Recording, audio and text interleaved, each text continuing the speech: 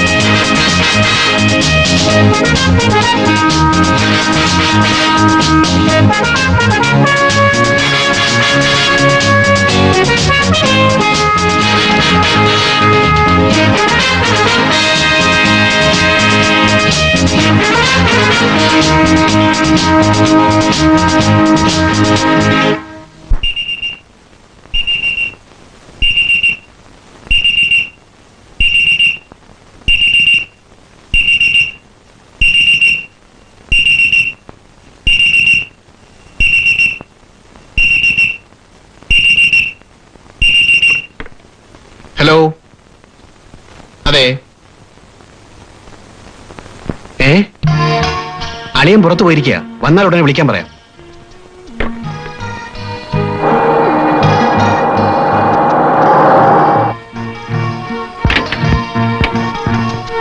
കമ്മീഷ് ഇപ്പൊ ഫോൺ വിളിച്ചു വെച്ചതേ ഉള്ളൂ. എന്താ മാവാ കാര്യം?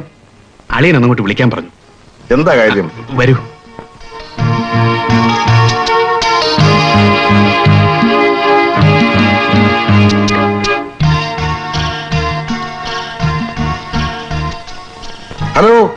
കമ്മീഷണർ അല്ലേ ഞാൻ കൈമള. എന്താ സാർ വിശേഷം? അല്ല റേഡോ ആ എന്താ സാർ ഇങ്ങനെ? നിങ്ങളൊക്കെ ഇവിടെ ഉള്ളപ്പോ ആ ഇന്ന് തന്നെ കോണ്ടാക്ട് ചെയ്യാം. ഓക്കെ സാർ എന്താച്ചാ ആ എസ് പി രാജശേഖരൻ ഒട്ടും ഈൽഡ് ചെയ്യാത്ത ആളാണെന്നാ കമ്മീഷണർ പറയുന്നത്. പോലീസ് ഡിപ്പാർട്ട്മെന്റ് നമ്മളെ ഫേവർ ചെയ്യുന്ന ആൾക്കാരുണ്ടായിട്ട് പോലും ഇങ്ങനെ ഒരു റെയ്ഡ് നടക്കുമെന്ന് പറഞ്ഞാൽ? ഇത് ആ ഭരതംപള്ളിയുടെ ആൾക്കാർ നമ്മളെ ഒറ്റുകൊടുത്താവാനേ വഴിയുള്ളൂ. ആരെയും കുറ്റം പറഞ്ഞിട്ട് കാര്യമില്ല. ഇത് നമ്മുടെ കഴിവേട് തന്നെയാ. ചൂടാകാതെ മോഹൻ. എല്ലാത്തിനും പോംവഴികളില്ലേ? അമ്മാവനത് പറയാം. കുടുങ്ങിയാലേ ആറേഴ് വർഷം നല്ല സുഖമായ സെൻട്രൽ ജയിലിൽ കഴിയാം. അങ്ങനെ ഒന്ന് നമ്മുടെ ജാതകത്തിലുണ്ടെങ്കിൽ അത് അനുഭവിച്ചേ പറ്റൂ. വാസവ ഇതത്ര നിസ്സാരമായി തള്ളാനുള്ളതല്ല. തെളിവുകളെല്ലാം നമുക്കെതിരാണ് ശ്യാം പ്രകാശിന് മാത്രമേ നമ്മളെ സഹായിക്കാൻ കഴിയൂ. ഇങ്ങനെ എല്ലാ കാര്യങ്ങൾക്കും അഡ്വക്കേറ്റ്മാരെ ഡിപ്പെൻഡ് ചെയ്യരുതെന്ന് അച്ഛനോട് ഞാൻ അന്നേ പറഞ്ഞതാ. പിന്നെ വക്കീൽ വേണ്ടെടുത്ത് വൈദ്യരെ കൊണ്ട് കാര്യം നടക്കൂ. വാസവ നീ പോയി ശ്യാംപ്രകാശിനെ കണ്ട് എല്ലാ വിവരങ്ങളും പറയണം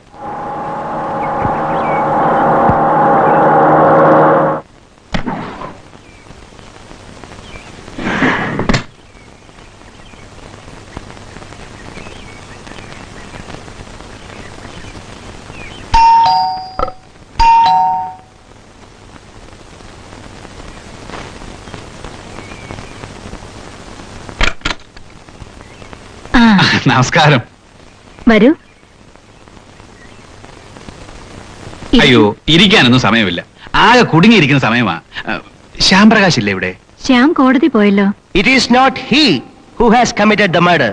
It is the insanity, madness, the mental imbalance that has provocated him to do such a crime. How can he be held liable for this, sir? I am here only to request you to show some kindness on the accused. From the oral, documentary, primary, secondary, and circumstantial evidences, it has been proved beyond doubt that the accused is insane. പ്രതി ഒരു മാനസിക രോഗിയാണെന്നുള്ള കാര്യം കണക്കിലെടുത്ത് Indian penal code section eighty ഫോറിന്റെ പരിഗണന നൽകി. പ്രതിയെ വിട്ടയക്കണമെന്ന് ഞാൻ ബഹുമാനപ്പെട്ട കോടതിയോട് താഴ്മയായിട്ട് അപേക്ഷിക്കുകയാണ്. ദാറ്റ്സ് ഓൾ യുവർ ഓണർ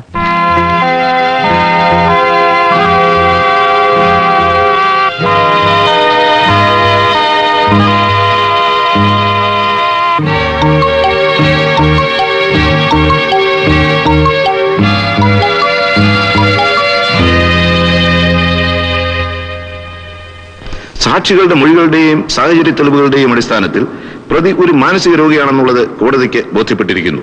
പൂർവ വൈരാഗ്യത്തോടെയാണ് പ്രതി കൊലപാതകം നടത്തിയിട്ടുള്ളതെന്ന് പ്രോസിക്യൂഷന് സ്ഥാപിക്കാനും കഴിഞ്ഞിട്ടില്ല. ഈ സാഹചര്യത്തിൽ ഇന്ത്യൻ ശിക്ഷാ നിയമത്തിലെ എൺപത്തിനാലാം വകുപ്പിന്റെ ആനുകൂല്യം നൽകി പ്രതി രവീന്ദ്രനെ നിരുപാധികം വിട്ടയക്കാൻ കോടതി ഉത്തരവിടുന്നു.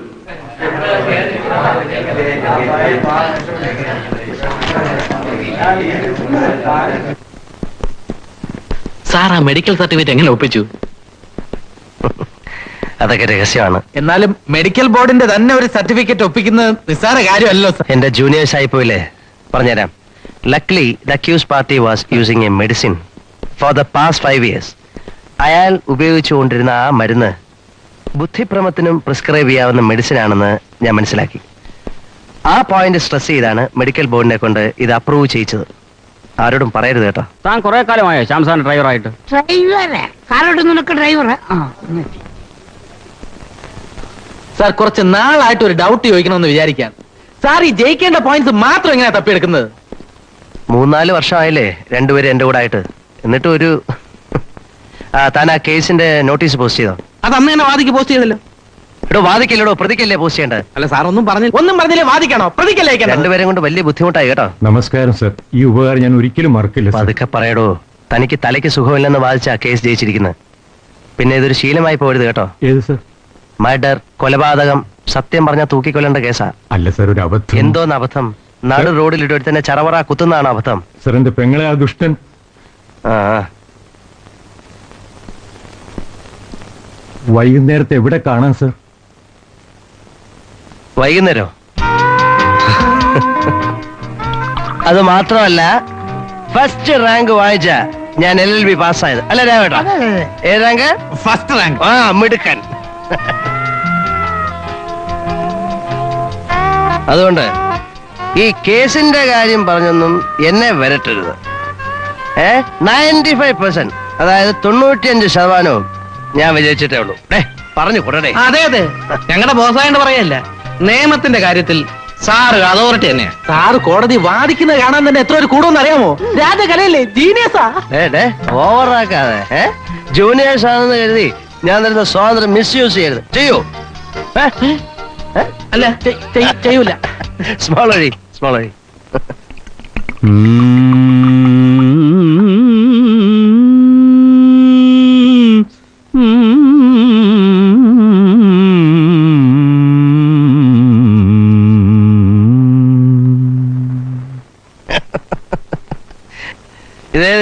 അറിയോ എനിക്ക് ഒരു പിടിയുമില്ല ആ പിടികാണില്ല അല്പം സ്വല്പം വിവരമുള്ളവർക്ക് സംഗീതം മനസ്സിലാവൂ. അല്ലേ രാവേട്ടാ അതെ അതെ. പ്രകാശ് മതി വളരെ കൂടുതലായി. ഹേയ് എന്റെ കൈമൾ സാറേ? ഫുൾ ടാങ്ക് അടിച്ചാലും ഒരു കുഴപ്പമില്ല. നല്ല കണ്ടീഷൻ ബോഡിയാ ടക്കെന്നൊരു സ്മോൾ വഴി.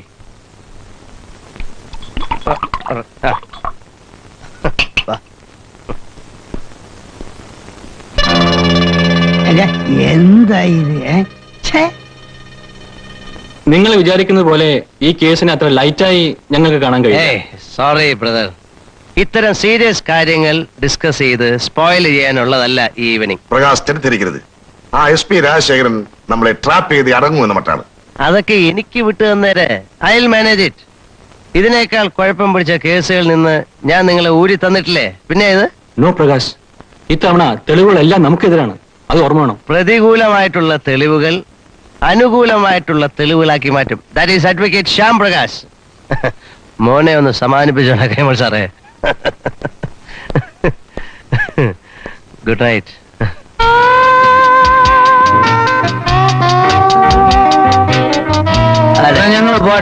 അല്ല. ഇവർ നിങ്ങൾ എങ്ങനെ പോകും? ഞങ്ങൾ ഓട്ടോയിൽ പോകോളാം. ഞാൻ ഡ്രോപ്പ് ചെയ്യാം. നിങ്ങൾ ഓട്ടോ പോയി അത് ശരിയല്ല അത് ശരി. നിങ്ങൾ ഒരു നിങ്ങളൊരു കാര്യം ചെയ്യും. നിങ്ങളൊരു ഓട്ടോ പോയിക്കോ നമ്മളെങ്ങനെ പോവും? നമ്മൾ കാറ് പോവും. ആര് ഡ്രൈവ് ചെയ്യും? ഞാൻ ഡ്രൈവ് ചെയ്യും. ഇത് നല്ല പ്രവണത. കള്ളു കുടിക്കുന്നവരെ ഞാൻ ഓട്ടണം? കള്ളു കുടിച്ചാൽ കുട്ടനെ ഓട്ടണം. ഈശ്വരനാണ് സത്യം. ഇത് ഞാൻ അമ്മയോട് പറഞ്ഞില്ലെങ്കിൽ എന്നെ പട്ടിനെ വിളിക്കുന്നത് വിളിച്ചോ. കൊറേ അല്ല. കുറേ ഞാൻ സഹിക്കുന്നു. കൊറേ ഞാൻ സഹിക്കുന്നു. ശരി ഞാൻ ഓടിക്കുന്നില്ല ഞാൻ ഓടിക്കുന്നില്ല വാ മനസ്സിലാക്കി. അങ്ങോട്ട് വാ. ഞാൻ ഓടിക്കുന്നുണ്ട് ആ അങ്ങോട്ട് അങ്ങോട്ട് കയറ്. ഏ, കയറ് കയറ്. അങ്ങോട്ട് ഇരിക്കുക അങ്ങോട്ട് ഇരിക്കുക അങ്ങോട്ട് ഇരിക്കുക അങ്ങോട്ട് ഇരിക്കുക കാലി കാലി കാലി. ആ അവിടെ ഇരിക്കും. കേട്ടാ? മുതിർന്നവർ പറയുമ്പോ മനസ്സിലാക്കണം. അങ്ങനെ. ഇത് എന്തൊരു സങ്കടമാണ് ഭഗവാനെ പറഞ്ഞാലും അയ്യോ. വായ്പ വൈപ്പർ വഴി മഴ പെയ്താ പിന്നെ അപ്പയിടുണ്ടല്ലോ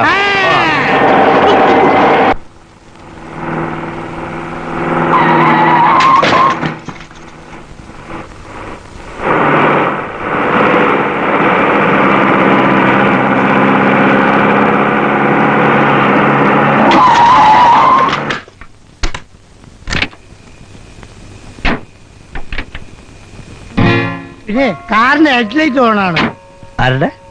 ആരുടെ? എന്റെ കാറിന്റെ ഹെഡ്ലൈറ്റ് ഓണാണ് എവിടെ? എന്തോ ചെയ്യ ഭഗവാൻ. ഇതാ സ്വിച്ച് ഇവിടെ. എന്താ ചെയ്യേണ്ട ഓഫ് ഓഫ് ചെയ്യണോ? അത് പറഞ്ഞാ പോലെ ഞാൻ അതല്ല പറഞ്ഞത്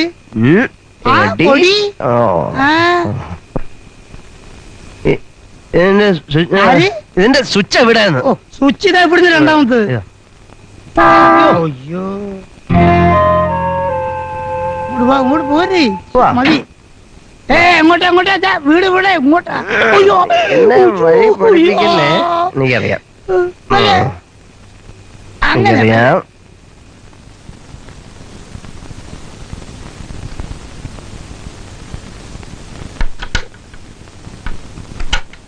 എത്ര പൂച്ചട്ടിയാ പൊട്ടിച്ചത്? ആരെ? പൊട്ടേ. അതെ.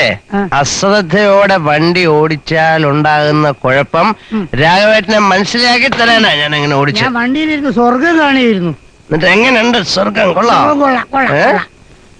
നമ്മൾ എപ്പോ വണ്ടി ഓടിച്ചാലും നല്ല കെയർഫുൾ ആയിട്ട് ഓടിക്കാവുള്ളൂ. ദൂരെ നിന്നൊരു വണ്ടി വന്ന ഇങ്ങോട്ട് തിരിച്ചിട്ട് അങ്ങോട്ട് തിരിച്ചിട്ട് അങ്ങനെ സ്ട്രെയിറ്റ് ആയി ഓടിക്കണം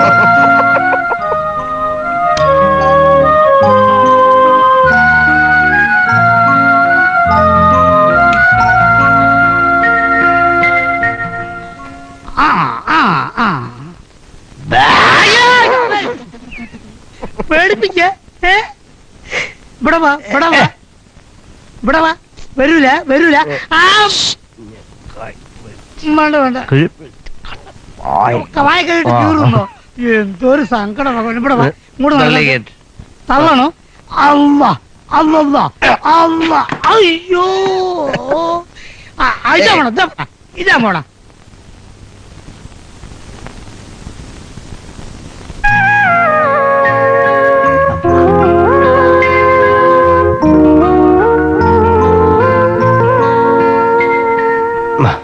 ഏ, ഇവിടില്ല. ഏ ഏ ആ, ആ, ഈ കണ്ട മൂച്ച അവിടെ റൂം അവിടെ. കേട്ടോ? ഇവിടെ വാ ഇവിടെ വാ ഇവിടെ വാ.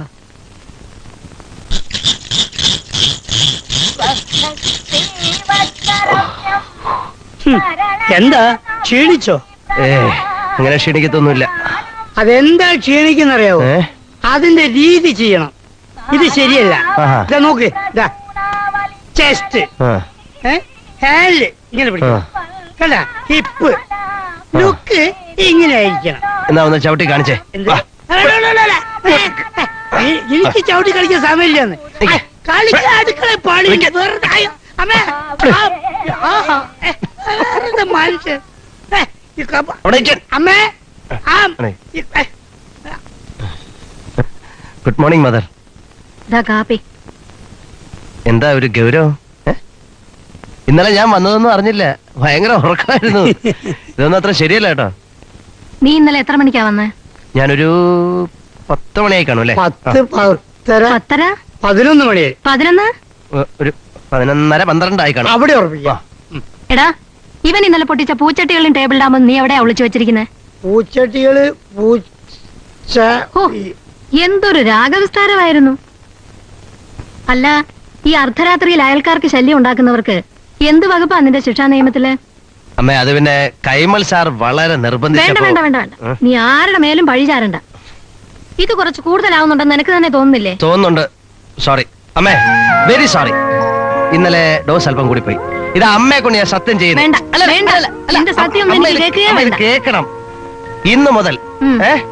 ഞാൻ മദ്യപാനം കംപ്ലീറ്റ് ആയിട്ട് സ്റ്റോപ്പ് ചെയ്യാനൊന്നും പോകുന്നില്ല. അല്ല അമ്മ അങ്ങനൊന്നും പേടിക്കണ്ട. ഞാൻ അതിന്റെ ഡോസ് കുറയ്ക്കും. ഏ കണ്ടാ കണ്ടാ? ഇതാ ഞാൻ പറഞ്ഞത്. നോക്കിയേ അമ്മ ഈ കാര്യം പറഞ്ഞാൽ മനസ്സിലാവും. നോക്കിയേ ചിരിക്കും നോക്കിയേ. പോയി കുളിച്ച് റെഡിയാ നന്നായി. കുഞ്ഞിന്റെ മുഖത്ത് നോക്കി ഇങ്ങനെ രണ്ട് വർത്തമാനം പറഞ്ഞത് വളരെ നന്നായി. അതെനിക്ക് ഇഷ്ടപ്പെട്ടു. അതൊരാവശ്യമാണ്. നീ വലിയ വർത്തമാനം ഒന്നും പറയണ്ട. അവനെ വഷളാക്കുന്നതിൽ നിനക്കും ഉണ്ടൊരു പങ്ക്.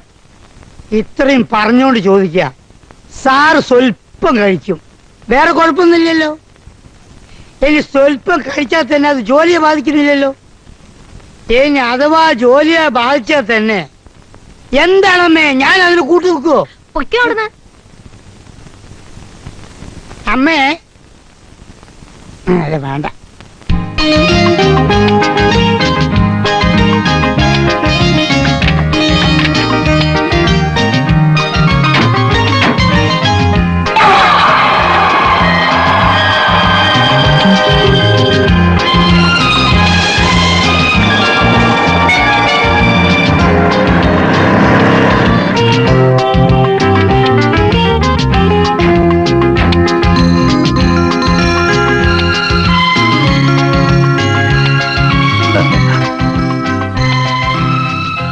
Many many happy returns of the day സമ്മതിച്ചിരിക്കുന്നു. ഇരിക്കൂ. ഓരോ വർഷവും ഈ വയസ്സിന്റെ ജന്മനാൾ ഇത്ര കൃത്യമായി എങ്ങനെ ഓർമ്മിക്കുന്നു എന്നാ? മാഷേ വളരെ കുറച്ച് നല്ല ക്വാളിറ്റീസേ എനിക്കുള്ളൂ. അതിലൊന്നാണ് വന്ന വഴി മറക്കാതിരിക്കുക. ഞാൻ ശ്യാമിന് വേണ്ടി ഏതാണ്ടൊക്കെയോ ത്യാഗം ചെയ്തിട്ടുണ്ടെന്നാണോ ശ്യാം മനസ്സിലാക്കി വെച്ചിരിക്കുന്നത്? അത് തെറ്റാണ്. കുഞ്ഞെ ഞാനും തന്റെ അച്ഛനും തമ്മിലുള്ള ബന്ധം വെച്ച് നോക്കുമ്പോൾ ഞാൻ എന്റെ ചുമതല അത്ര കൃത്യമായി നിർവഹിച്ചിട്ടുണ്ടോ എന്ന് പോലും എനിക്ക് സംശയം. മക്കളെ പഠിപ്പിച്ച് വലുതാക്കിയ എന്റെ കണക്കുകൾ സ്വന്തം അച്ഛനമ്മമാർ പോലും പറയുന്ന ഈ കാലത്ത് മാഷൊരു റിയൽ എക്സെപ്ഷനാണ് ആത്മഹത്യ ചെയ്ത ഒരു ക്രിമിനലിന്റെ മകനായിട്ട് എല്ലാവരും എന്നെ കണ്ടപ്പോഴും സ്നേഹത്തിന്റെ ഭാഷയിൽ എന്നോട് സംസാരിക്കാൻ മാഷ് മാത്രമേ ഉണ്ടായിരുന്നുള്ളൂ. അന്ന് മാഷ് തന്ന ആത്മധൈര്യമാണ് എന്നെ ഇവിടം വരെ കൊണ്ടെത്തിച്ചത്. ഞാൻ കടങ്ങളുടെയും കടപ്പാടുകളുടെയും കണക്കുകൾ പറയുകയല്ല. മാഷ് ആ. റിസൾട്ട് എന്നാ വരിക? അയ്യോ റിസൾട്ട് വന്നു. എല്ലാ വിഷയത്തിനും എയ്റ്റി പെർസെന്റ് മാർക്കുണ്ട്. Eighty percent? കൊള്ളാം. Congratulate thank you.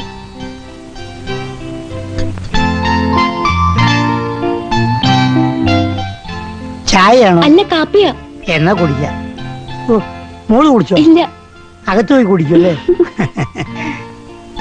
ഞാൻ ഇറങ്ങട്ടെ മാഷെ.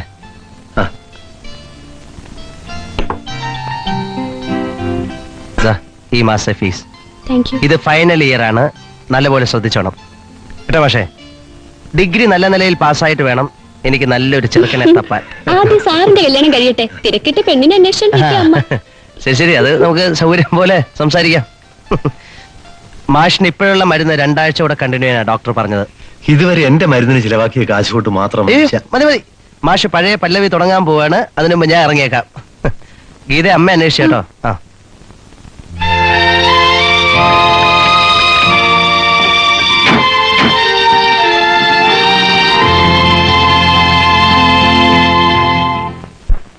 സോറി സാർ വാദിക്കാണോ നോട്ടീസ് അയക്കേണ്ടത്?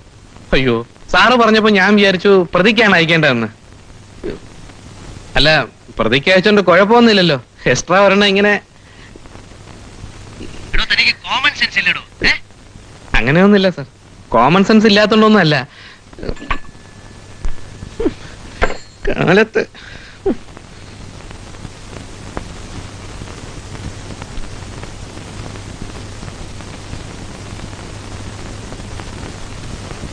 പോത്താ ഈ ജൂനിയറായിട്ട് ജോലി ചെയ്ത് മടുത്തു. ഇനിയെങ്കിലും സ്വന്തമായിട്ട് പ്രാക്ടീസ് ചെയ്ത് തുടങ്ങിയില്ലെങ്കിൽ ജീവിതാവസാനം വരെ നമ്മൾ ഇങ്ങനെ ജൂനിയേഴ്സ് ആയിട്ട് തുടരേണ്ടി വരും. അതെ സ്വന്തമായിട്ട് പ്രാക്ടീസ് ചെയ്യാനുള്ള കെൽപ്പും വിവരവും ഉണ്ടാകുന്നവരെ ഇങ്ങനെ അങ്ങ് കഴിയുന്ന അളിയാ ബുദ്ധി. ഈ ചടിച്ചോണ്ടിരിക്കുന്ന ഒരു സീനിയർ അഡ്വക്കേറ്റ് ആവുന്നതിനേക്കാളും നല്ലത്. വളരെ ബിസി ആയിട്ടുള്ള ഒരു അഡ്വക്കേറ്റിന്റെ ജൂനിയർ ആയി കഴിയുന്നതാണ്. ഡേ കാലത്തെ ഒരുമാതിരി ആക്കരുത്. അല്ലെങ്കിൽ നിന്റെ മനസ്സ് മുഴുവൻ വിഷമാ. ഞാൻ ഒരിക്കലും തിരക്കുള്ള വക്കീലാവില്ലെന്നല്ലേ നീ പറഞ്ഞതിന്റെ ദുസൂചന? എന്നൊന്നും ഞാൻ പറഞ്ഞില്ല. വെറുതെ വഴക്കുണ്ടാക്കാൻ വരരുത് ഗോപാലകൃഷ്ണ. ആര് തുടങ്ങി വെച്ചത്? നീയോ ഞാനോ? ഈച്ച അടിച്ചോണ്ടിരിക്കും പോലും. എടാ പ്രകാശ് സാറിനെ സോപ്പിട്ട് എന്നും അങ്ങനെ എച്ചിൽ കഴി സിൽബന്തിയാ കഴിയുന്നതായിരിക്കും നിനക്കിഷ്ടം. പക്ഷേ എന്നെ അതിന് കിട്ടൂല. ഞാൻ തറവാട്ടി പറഞ്ഞവനാ. ചിട്ടിക്കമ്പനി നടത്തി നാട്ടുകാരുടെ കാശ് അടിച്ചോണ്ട് രാഖി രാമൻ നാട് വിട്ട. കൃഷ്ണ പണിക്കരുടെ മകന്റെ തറവാട്ട് മഹിമ നാട്ടുകാർക്കൊക്കെ അറിയാം. ഏതായാലും നിന്റെ അപ്പന്റെ അത്ര കള്ളനല്ലടാ. കഷണ്ടി മാറ്റാനുള്ള മരുന്നാണെന്നും പറഞ്ഞ് ആവണക്കണ്ണ കുപ്പിയിലാക്കി നാട്ടുകാർക്ക് വിറ്റ് കാശുണ്ടാക്കാനടാ നിന്റെ തന്ത ഉണ്ടപ്പാപ്പി. എന്തിനാടാ വെറുതെ വീട്ടിലിരിക്കുന്നവരെ പറയുന്നത്? നീ എന്നെ കൊണ്ട് പറയിപ്പിച്ചല്ലേ എടാ മനുഷ്യനായ സ്വന്തം കഴിവിൽ വിശ്വാസം വേണം. അതങ്ങനെ അഞ്ച് ചാൻസിൽ എൽ എൽ ബി പാസ്സാവാൻ എവിടുന്ന് ആത്മവിശ്വാസം ഉണ്ടാവുക? എത്ര ചാൻസിൽ പാസ്സായെങ്കിലും ഞാൻ കേരള യൂണിവേഴ്സിറ്റിയിൽ നിന്ന് എൽ എൽ ബി ഡിഗ്രി എടുത്ത്. അല്ല നിന്നെ പോലെ കേരളത്തിൽ പുറത്തുപോയി പ്രൊഫസർ അണ്ടിപ്പരിപ്പ് കൊടുത്ത് ഉണ്ടാക്കിയ ഡിഗ്രി അല്ലേ നീ കുറെ നേരമായിട്ട് വളയുന്നുണ്ട്. രാവിലെ മുതൽ നീ എന്റെ മേക്കിട്ട് കിടന്നടാ കുറെ നേരം. സാർ സാർ സാർ സാർ എന്താ രാവിലെ വലിയൊരു സ്നേഹപ്രകടനം? ബർത്ത്ഡേ ആണ് സാർ ഇന്ന്. അതുകൊണ്ട് കെട്ടി ആണോ? Many many happy returns of the day അല്ല സാർ ബർത്ത്ഡേ പ്രമാണിച്ച് ഇന്നത്തെ കംപ്ലീറ്റ് ചെലവ് പോത്തന്നെ കണക്കായിട്ടാ. അതെയാ? വൈകുന്നേരം നമുക്ക് ഗംഭീരമാക്കി കളയാം ഏ?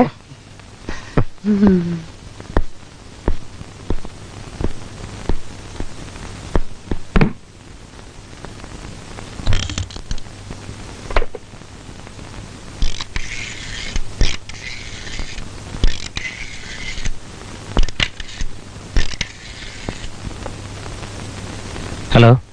കൈമൽ സാറല്ലേ? ഞാനാ. ആർ ടി ഓഫീസിൽ ഒൻ മിസ്റ്റർ ജേക്കബ് ഉണ്ട്. പുള്ളിയെ പോയി ഒന്ന് കാണണം. കാര്യങ്ങളൊക്കെ ഞാൻ പറഞ്ഞ് ഏർപ്പാടാക്കിയിട്ടുണ്ട്. പിന്നെ ബാൻ ഡ്രഗ്സിന്റെ സ്റ്റോക്ക് അങ്ങ് നശിപ്പിച്ചളഞ്ഞേക്കണം നോ നോ നോ ഇനി അത് വിൽക്കാൻ പാടില്ല. ഞാൻ കേസ് ബാധിക്കുന്ന കാര്യമൊക്കെ വേറെ. പക്ഷെ ഇത് ജനങ്ങളുടെ ആരോഗ്യത്തെ ബാധിക്കുന്ന പ്രശ്നമാണ്. അത് എനിക്ക് സപ്പോർട്ട് ചെയ്യാൻ അല്പം ബുദ്ധിമുട്ടുണ്ട്. ആ കാശ് നമുക്ക് പല മാർഗത്തിൽ കൂടെ ഉണ്ടായിക്കൂടെ കൈമൾ സാറേ? ആ ഓക്കെ ഓക്കെ. സാറ് പോയി ജേക്കബിനെ കാണണേ. Okay.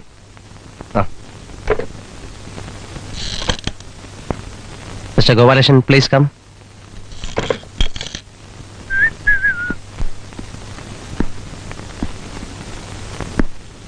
അല്ല സാറോട് ഒന്ന് പറയണം. എന്താ? വൈകുന്നേരത്തെ പാർട്ടിയുടെ കാര്യം. ഈ പോത്തം ബേസിക്കലി പിശിക്കണേ. അതല്ല. എസ് പി വിളിച്ചിട്ട് എന്ത് പറഞ്ഞു? രാജശേഖരൻ സാറോ? വൈകുന്നേരം ബില്ലിയാസ് ക്ലബ് വെച്ച് കാണാമെന്ന് പറഞ്ഞു. ഒരു പോലീസ് ഓഫീസറും ക്രിമിനൽ ലോയറും തമ്മിലുള്ള കൂടിക്കാഴ്ച ഇത് മാറാൻ പാടില്ലെന്ന എന്റെ ആഗ്രഹം. Let this be a meeting of two friends or brothers എന്തിനാ സാർ ഇങ്ങനെ ഒരു മുഖവര? കോടതിയിൽ പ്രകാശിനെ പോലെ ഇത്ര വെൽ സ്റ്റഡീഡായി മറ്റാരും കേസുകൾ പ്രസന്റ് ചെയ്ത് ഞാൻ കണ്ടിട്ടില്ല. പക്ഷേ നിങ്ങളുടെ ഈ കഴിവും ബുദ്ധിയുമെല്ലാം കുറെ ദുഷ്ടന്മാർക്ക് പണയം വെച്ചിരിക്കുകയാണെന്ന് പറയേണ്ടി വരുമ്പോ മനസ്സിലായില്ല. ഒന്നോ രണ്ടോ പ്രാവശ്യം ഏതെങ്കിലും ക്രിമിനൽസിന് വേണ്ടി വാദിക്കുന്നത് മനസ്സിലാക്കാം. പക്ഷേ കുറ്റം ചെയ്യുന്നതിനുള്ള ലൈസൻസ് ഉണ്ടെന്ന രീതി പെരുമാറുന്ന ഒരു ഗ്രൂപ്പിന്റെ വ്യക്താവായി മാറുന്നത് ആത്മഹത്യാപരം യെസ് ഞാൻ ആ കൈമളുടെ കാര്യം തന്നെയാണ് ഉദ്ദേശിച്ചത്. പ്രകാശിന് അറിയാമോ അയാളുടെ സ്ഥാപനങ്ങൾ നടക്കുന്നത് എന്താണെന്ന്? ഫിഷറീസിന്റെയും ഫാർമസ്യൂട്ടിക്കൽസിന്റെയും കൺസ്ട്രക്ഷൻ കമ്പനിയുടെയും പേരിൽ കള്ളക്കടത്തും വ്യാജമരുന്നുകളുടെ വിൽപ്പനയും ഒക്കെയാണ് നടക്കുന്നത്. അറിയാം സാർ. എന്നിട്ടാണോ അവർക്ക് കൂട്ടുനിൽക്കുന്നത് അവരുടെ ഗ്രൂപ്പ് ഓഫ് കമ്പനീസിന്റെ അഡ്വക്കേറ്റ് ആയിരിക്കുന്നിടത്തോളം കാലം എനിക്ക് അവരുടെ കേസുകൾ വാദിക്കേണ്ടി വരും. ഈ കാര്യത്തിൽ നിങ്ങൾക്ക് അല്പം പോലും കുറ്റബോധം തോന്നില്ലേ? എന്തിന്? എന്നെ അവർ ഏൽപ്പിക്കുന്ന ജോലി ഞാൻ ചെയ്യുന്നു. In that case I have to say you are a criminal and not a criminal lawyer സമ്മതിച്ചു. ഞാൻ കുറ്റവാളി തന്നെ. പക്ഷെ ഒന്ന് ചോദിച്ചോടെ സാർ. കൈമലിനെ രക്ഷപ്പെടുത്തുന്നത് ഞാനാണെന്ന് പറഞ്ഞല്ലോ. നിങ്ങളുടെ പോലീസ് ഡിപ്പാർട്ട്മെന്റ് ഹൺഡ്രഡ് പെർസെന്റ് എഫിഷ്യൻസിയോടെ പ്രവർത്തിച്ചിരുന്നെങ്കിൽ എനിക്ക് വാദിച്ചയക്കാൻ പറ്റുമായിരുന്നോ? ഞങ്ങളുടെ കഴിവ് കൊണ്ടല്ല നിങ്ങളുടെ കഴിവിന്റെ കൂടുതൽ കൊണ്ടാ പ്രോസിക്യൂഷൻ പലപ്പോഴും പരാജയപ്പെടുന്നത്. സമ്മതിച്ചിരിക്കുന്നു. താങ്ക് യു സർ പക്ഷെ ഈ കഴിവൊക്കെ നല്ല രീതിയിൽ വിനിയോഗിച്ചിരുന്നെങ്കിലോ you are a genius in the wrong way Prakash നിങ്ങളെപ്പോലുള്ള ചെറുപ്പക്കാർ മോറൽ വാല്യൂസിന് ഒരു വിലയും കൽപ്പിക്കുന്നില്ല. അങ്ങനെയാണെങ്കിൽ ശുദ്ധീകരണം തലപ്പത്ത് നിന്ന് തുടങ്ങുന്നല്ലേ സാർ നല്ലത്? അങ്ങനെയാണെങ്കിൽ ചിലപ്പോ സാറിന്റെ തലയിൽ തൊപ്പി കാണില്ല അല്ലേ? നോ പ്രകാശ്. അങ്ങനെയുള്ള പേടിയൊന്നും എനിക്കില്ല. എങ്കിൽ തുടങ്ങണം സാർ ഞാനും കൂടാം. സ്വിസ് ബാങ്കിൽ അക്കൗണ്ട് ഉള്ള എം എൽ എമാരുടെയും എം പിമാരുടെയും മന്ത്രിമാരുടെയും ലിസ്റ്റ് ഞാൻ സാറിന് തരാം. അവരുടെ സോഴ്സ് ഓഫ് ഇൻകം എന്താണെന്ന് സാറിന് വിളിച്ചു കൊണ്ടുവരാൻ പറ്റുമോ? കള്ളക്കടത്തുകാരുടെ കയ്യിൽ നിന്ന് രാഷ്ട്രീയ പാർട്ടികൾ വാങ്ങിയിട്ടുള്ള സംഭാവനകളുടെ ഡീറ്റെയിൽസ് സാറിന് വേണോ? നിരോധിച്ച മരുന്നുകൾ രാഷ്ട്രീയക്കാരുടെ ഒത്താശയോടെ വിറ്റഴിച്ചതിന്റെ തെളിവുകളും ഞാൻ തരാം. കേക്കട്ടെ? സാറിന് എന്ത് ചെയ്യാൻ കഴിയും? ഇവരെയൊക്കെ ഞാൻ ജസ്റ്റിഫൈ ചെയ്യുന്നു എന്നാണോ പ്രകാശ് പറയുന്നത്? ഐ എം സോറി സർ ഇത്തരം ഉപദേശങ്ങൾക്കൊന്നും ഞാൻ വലിയ വില കൽപ്പിക്കുന്നില്ല. ഈ ലോകത്ത് കാശാണ് വലുത്. എനിക്കും സാറിനും എല്ലാവർക്കും. പിന്നെ കൈമളുടെ കേസുകൾ വാദിക്കുന്നത് കൊണ്ട് മാത്രം അയാളുടെ എല്ലാ ചെയ്തികളും ഞാൻ ന്യായീകരിക്കുന്നുണ്ടെന്ന് സാർ വിചാരിക്കണ്ട. It's a part of my profession വ്യക്തിപരമായി കൈമളുമായുള്ള അടുപ്പമോ? സമ്മതിച്ചു. പക്ഷെ അതിന് മതിയായ കാരണങ്ങളുണ്ട്. എന്റെ കരിയർ ബിൽഡ് ചെയ്യാൻ വളരെയധികം സഹായിച്ചിട്ടുള്ള ആളാണ് കൈമൾ. ഒരു മകനെ പോലെയാണ് അത് എന്നെ സ്നേഹിക്കുന്നത്. ആ സ്നേഹത്തിന്റെ പിന്നിലുള്ള സ്വാർത്ഥത ഒരു പക്ഷേ പ്രകാശിന് ഇന്ന് മനസ്സിലാവില്ല. ഓക്കെ ലീവ് ഇറ്റ് കാലം എല്ലാം പറഞ്ഞു തരും. ശരി. ഞാൻ സാറിനെ ഏതെങ്കിലും രീതിയിൽ ഹെർട്ട് ചെയ്തിട്ടുണ്ടെങ്കിൽ ഐ എം സോറി. ഏയ് ഒരിക്കലുമില്ല. സ്വകാര്യ സംഭാഷണത്തിൽ പോലും വാദിച്ച് ജയിക്കാനുള്ള നിങ്ങളുടെ കഴിവിനെ ഞാൻ അപ്രീഷിയേറ്റ് ചെയ്യുന്നു. ഞാൻ ഇറങ്ങട്ടെ. സമയമായോ? സാർ കൂടുന്നോ? ഇല്ല.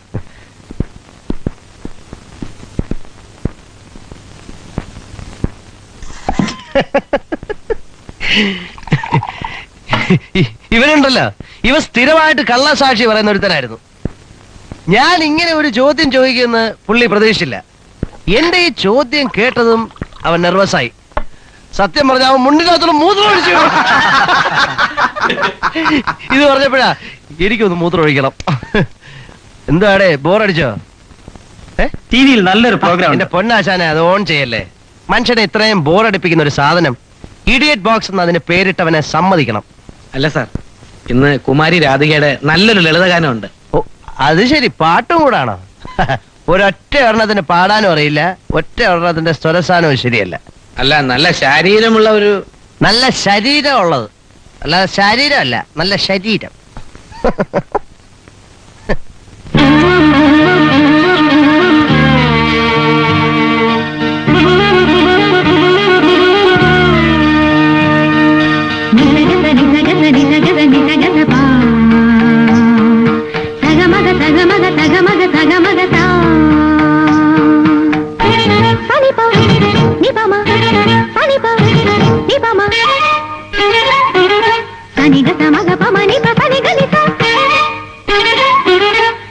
పనసని సగ సగమగ మప మపని పనసని సగ సా సగమప నిపమప సగమప നിപമപ ശ്യാമമേഘമേനി യദുകുല സ്നേഹദൂതുമായി വാ ഇതുവഴി കാളിന്റെ തടത്തിൽ അരിയൊരു പ്രേമഹർഷമായി കുഴൽവിളി അനനെയും നദി തന്റെ ഹൃദയം പുളകം ഞൊറിയുകയായി സുരഭിലമാകും സുന്ദര സന്ധ്യ വരുമോ?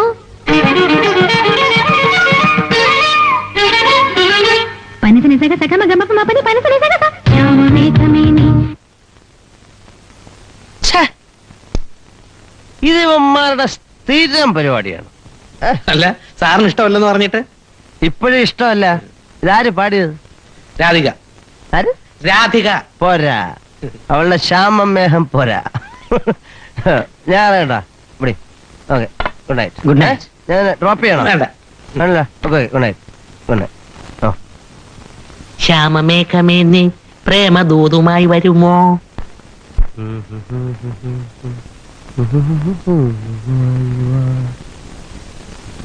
ശ്യാമമേഘമേനി മൃദുല സ്നേഹത്തൂതുമായി വാ. ശ്യാമമേഘമേനി ഇത് കുല സ്നേഹത്തൂതുമായി ഹലോ? ആ ദൂരദർശൻ കേന്ദ്രൻ. അല്ലേ. അല്ലേ? ഇതാ നീ നേരത്തെ പറഞ്ഞോളാ. ഓടാതാ?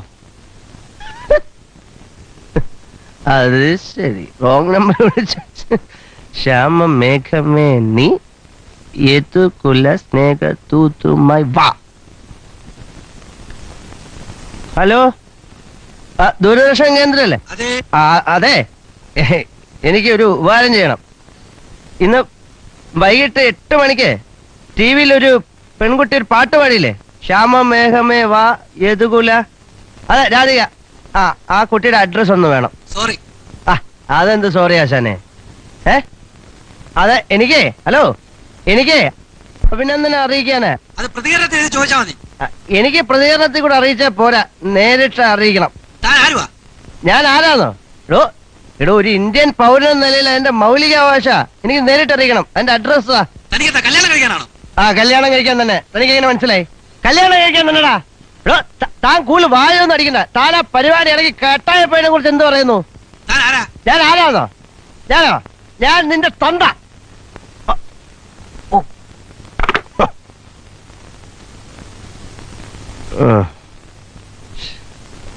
വളരെ മോശമായിപ്പോയി ഒരാളുടെ തന്തയ്ക്കൊക്കെ പറയാന്ന് പറഞ്ഞ. പക്ഷെ അയാൾ എന്നോട് അങ്ങനെ പറഞ്ഞോണ്ടല്ലേ? അയാൾ മോശമായിപ്പോയി. നീ ഇപ്പൊ വിളിച്ച് സോറി പറഞ്ഞേക്കാം. അയാളുടെ തന്തയ്ക്കൊക്കെ പറയാന്ന് പറഞ്ഞ. ഹലോ? ദുരക്ഷം ഇപ്പോഴേ? ഒരാൾ വിളിച്ച് തന്റെ തന്തയ്ക്ക് പറഞ്ഞില്ലേ? അത് ആരാണെന്ന് തനിക്ക് അറിയാം ഞാനോ? ഞാൻ തന്നെയാ തന്തയ്ക്ക് വിളിച്ച ആൾ. ഞാനോ? ഞാൻ നിന്റെ തന്തയാണോ തന്ത. അയ്യോ ഒരാളുടെ തന്തയ്ക്ക് പറഞ്ഞു എന്തൊരു ആശ്വാസം അതാണ് അമ്മ അതിന്റെ കാര്യം. നമ്മൾ എത്ര വിചാരിച്ചാലും നന്നാവില്ല. പഠിച്ചല്ലേ പാടുള്ളൂ. ചായ. ഡോക്ടർ കെ എസ് മേനോന്റെ മോള. ആരെ? ഇന്നലെ രാത്രി ദൂരദർശൻകാർക്ക് ഫോൺ ചെയ്ത് ചോദിച്ചില്ലേ ആ കുട്ടിയുടെ അഡ്രസ്? ഗിരിനഗറിലാ താമസം.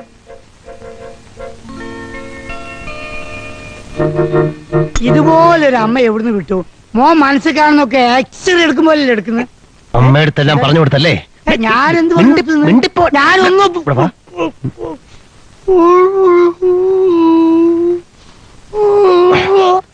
അമ്മയടുത്ത് പറഞ്ഞു കൊടുത്തല്ലേ?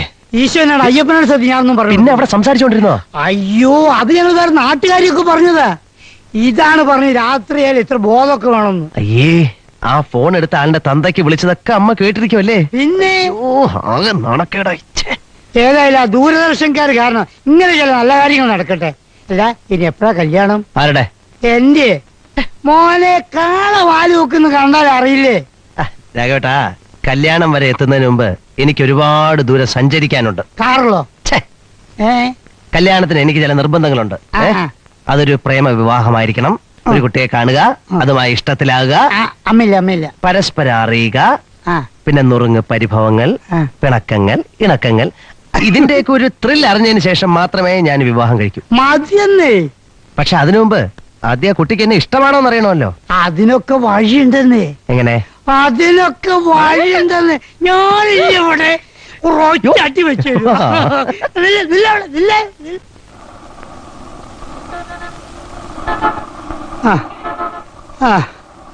അയ്യോ രാമേ ഞാൻ എത്ര ദൂരത്ത് നിന്ന് വരുമെന്നറിയോ?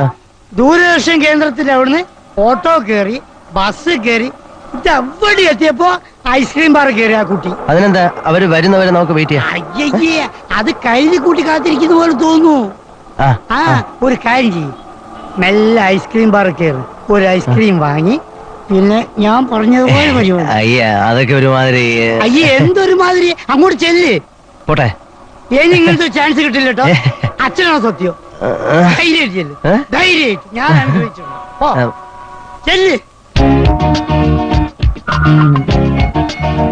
ഒരു ഐസ്ക്രീം ഏതാ വേണ്ടത്? ഏതാ ഉള്ളത്? Vanilla strawberry chocolate pista butterscotch Chocobar എല്ലാം ഉണ്ട് സാർ. ഏതാ വേണ്ടേ? മിസ് രാധികയല്ലേ? അതെ. വരട്ടെ. ഈ ടി വിയിലൊക്കെ അതെ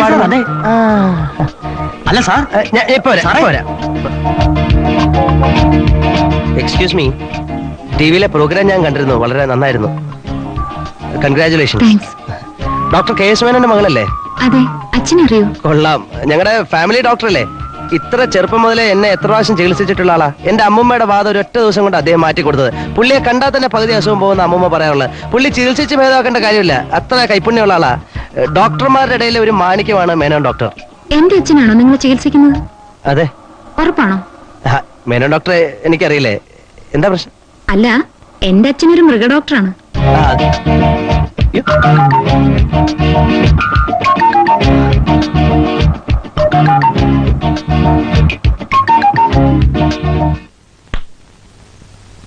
യുവർ യുവർ ഓണർ പൂമംഗലം തറവാട്ടിലെ ഒരു അംഗവും സ്ഥലത്തെ പ്രമുഖ മൃഗ ഡോക്ടറുമായ ഡോക്ടർ കെ എസ് മേനോന്റെ മകൾ രാധികയെ പ്രേമിച്ചു എന്നതാണ് ഈ ഉള്ളവന്റെ മേൽ ചുമത്തപ്പെട്ടിരിക്കുന്ന കുറ്റം. ഈ കുട്ടിയോട് തന്നെ പ്രേമം തോന്നാനുള്ള കാരണം? കാരണം കാരണമുണ്ട്. അത് പിന്നെ ഈ ചിലരെ നമ്മൾ ആദ്യമായിട്ട് കാണുമ്പോൾ തന്നെ ഈ നമുക്ക് തോന്നില്ലേ? ചില രൂപവും ഭാവവും പിന്നെ അതുപോലെ തന്നെ ഈ ഒരു കാര്യം മറ്റടുത്ത ചോദ്യം ചോദിക്കില്ല. അങ്ങ് ഇഷ്ടപ്പെട്ടു. അത്രേ ഉള്ളൂ. അത്ര മതി. അത് മതി. Order order. കോടതിയോട് കുറച്ച് ബഹുമാനത്തോടെ പെരുമാറണം. ആട്ടെ വാദം തുടരട്ടെ. രാത്രികാലങ്ങളിൽ മൂന്ന് നാല് മാക്സിമം ഒരു അഞ്ച് സ്മോൾ വരെ വീശും ഒഴിച്ചാൽ പ്രതിക്ക് വേറെ എന്താണ് ഒരു കുറവാണ് മേപ്പടിയാൻ ചില അവസരങ്ങളിൽ അടിച്ചു പൂസായി? മേപ്പടിയാൻ ചില അവസരങ്ങളിൽ അടിച്ചു പൂസായി. സംസ്ഥാന കേന്ദ്ര സർക്കാർ സ്ഥാപനങ്ങളിൽ ഇരിക്കുന്നവരോട് ഫോണിലൂടെ അപമര്യാദയായി പെരുമാറി എന്ന് കേട്ടത് ശരിയാണോ? ശരിയാണോ ശരിയാണ്. പ്രേക്ഷകന്റെ ഭാഗത്ത് നിന്ന് അങ്ങനെ ചില പാകപ്പിഴകൾ ഉണ്ടായിട്ടുണ്ട്. ഇനി അങ്ങനെ ഉണ്ടാകാതിരിക്കാൻ ശ്രമിക്കുന്നതാണ്. അപ്പൊ ഇത് ഭാവിയിൽ ഒരു അസുഖമായി. മതി മതി മതി മതി. വിസ്താരം മതി. ഇനി വിധി പ്രസ്താവിച്ചാട്ട്. കുമാരി രാധിയോട് പ്രതിക്കുള്ള അമിതാവേശവും ആക്രാന്തവും. ഇപ്പൊ പറഞ്ഞില്ലേ. അത് മനസ്സിലാക്കിയാൽ മതി കേട്ടോ. അത് കണക്കിലെടുത്തുകൊണ്ടും പ്രതിയുടെ അമ്മയ്ക്ക് തന്റെ മകനിൽ എത്രയും പെട്ടെന്ന് ഒരു കുഞ്ഞിക്കാൽ പിറന്നു കാണണം എന്നുള്ളൊരു അത്യാഗ്രഹമുള്ളതിനാലും പ്രതിക്ക് തന്റെ പ്രേമബന്ധം ഭാവി ശക്തമായി തുടരാൻ ബഹുമാനപ്പെട്ട ഞാൻ നോ കോടതി ഉത്തരവിട്ടിരിക്കുന്നു. തട്ടാൻ വരട്ട് വരട്ട് തട്ടാൻ ഒരുപക്ഷ പ്രതിയുടെ തള്ള അയ്യോ അതായത് അമ്മ. ഈ അമ്മ. അമ്മ? അമ്മ? എതിർത്താലോ? ഏ ആരൊക്കെ എതിർത്താലും എന്തൊക്കെ സംഭവിച്ചാലും ആ. വിലങ്ങുകളെല്ലാം വലിച്ചു പൊട്ടിച്ചുകൊണ്ട് നീ പൊട്ടിക്കോ തീർച്ചയായിട്ടും ഞാൻ പൊട്ടിക്കും.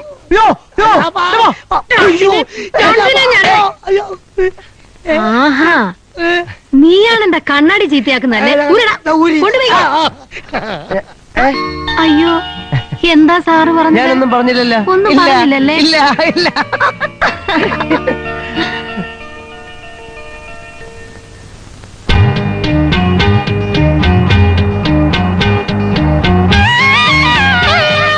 എക്സ്ക്യൂസ് മീ ഞാൻ ഡ്രോപ്പ് ചെയ്യണോ? നോ താങ്ക്സ് എന്റെ പേര് ശ്യാം പ്രകാശ്. ഞാൻ ഇവിടുത്തെ ഒരു ക്രിമിനൽ ലോയറാണ്. പിന്നെ അന്ന് ഞാൻ കുട്ടിയുടെ അച്ഛനെ അറിയും എന്നൊക്കെ പറഞ്ഞത് വെറും പുളുവാണ്. സി ലക്ഷ്യം മാർഗത്തെ സാധൂകരിക്കുമെന്നാണല്ലോ. എനിക്ക് നല്ല ഉദ്ദേശങ്ങൾ മാത്രമേ ഉള്ളൂ. അതിപ്പോ എങ്ങനെയാ തുടങ്ങേണ്ടതെന്ന് അറിയില്ല. എന്റെ ഒരു പേഴ്സണൽ കേസ് പ്രസന്റ് ചെയ്യാനുണ്ട്. അതിനൊരു തീരുമാനം എടുക്കേണ്ടത് കുട്ടിയാണ്. In this case you are the judge. വേറൊന്നുമല്ല എനിക്ക് കുട്ടിയെ വളരെ ഇഷ്ടമാണ്. I love you. I love you. I love you. I love you. I love you. I love you I love you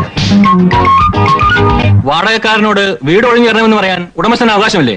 ഛേ ഇതൊന്തൊരു ഏർപ്പാടേത്? അതുകൊണ്ടല്ല മോഹൻ മാഷക്ക് ആ വീടിനോട് എന്തോ സെന്റിമെന്റ്സ് ഉണ്ടെന്നാ പ്രകാശ് പറയുന്നത്.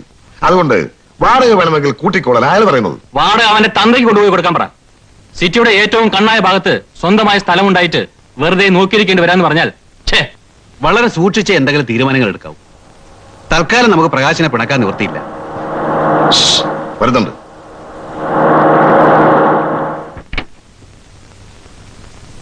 നമസ്കാരം ആ സർ വരണം പ്രകാശ് വരണം.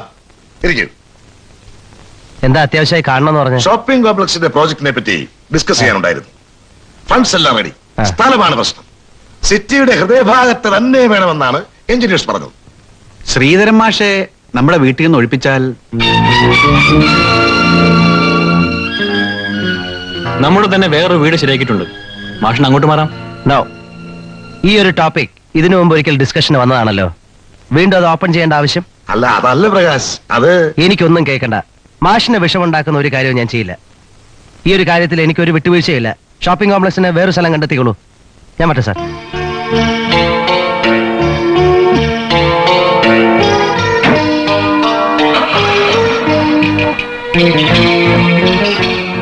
ഈ അമ്മാവനും അച്ഛനും കൂടിയിട്ടാ അവൻ ഇത്രയും വഷളാക്കിയത്.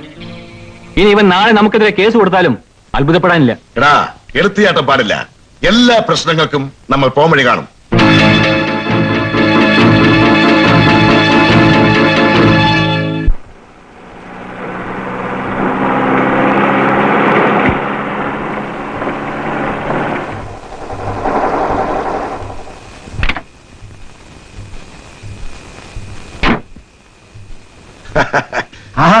കുടുംബം ഉണ്ടല്ലോ. ട്രേഡ് യൂണിയൻ ഇങ്ങനെ ഒരു മീറ്റിംഗ് ഉണ്ടായിരുന്നു. അതാ വൈകിയത്. മന്ത്രിസ്ഥാനം പോയാലും ജീവിക്കണമല്ലോ. ഭരണമൊക്കെ എങ്ങനെ നടക്കുന്നു? ഏയ് വലിയ കുഴപ്പമൊന്നുമില്ല. എന്നാലും ഇപ്പോഴും ഞങ്ങളുടെ ആൾക്കാരെ മുഖ്യന്റെ പാർട്ടിക്കാർക്ക് വലിയ സംശയമാ. എന്നാണ് വീണ്ടും ലയനമെന്നും പറഞ്ഞ് ഞങ്ങൾ അപ്പുറത്തോട്ട് പോകുന്നതെന്ന് അറിഞ്ഞുകൂടാന്ന് അവർ പറയുന്നത്. അപ്പുറത്തായാലും ഇപ്പുറത്തായാലും ശരി. ഇലക്ഷൻ കഴിഞ്ഞ് മന്ത്രിമാരുടെ ലിസ്റ്റ് വരുമ്പോ സാറിന്റെ പേര് അതിലുണ്ടാവും. അല്ല അതിനും വേണ്ട ഒരു യോഗം. നിങ്ങൾ വരുന്ന കാശ് കൊണ്ടല്ലോടോ ഞാൻ ഈ രാഷ്ട്രീയ കളികൾ കളിക്കുന്നേ ഏ? ആ വന്ന കാര്യം പറഞ്ഞില്ലല്ലോ. ആ എസ് പി രാജശേഖരനെ സ്ഥലം മാറ്റത്തിന്റെ കാര്യം. അത് എത്രയും പെട്ടെന്ന് ശരിയാക്കാൻ എല്ലാ ഏർപ്പാടും ചെയ്തിട്ടുണ്ട്. ആ പിന്നെ ഒരു കാര്യം കൂടി ഉണ്ടായിരുന്നു. അളിയൻ പറയളിയാ. ഒരു നിമിഷം.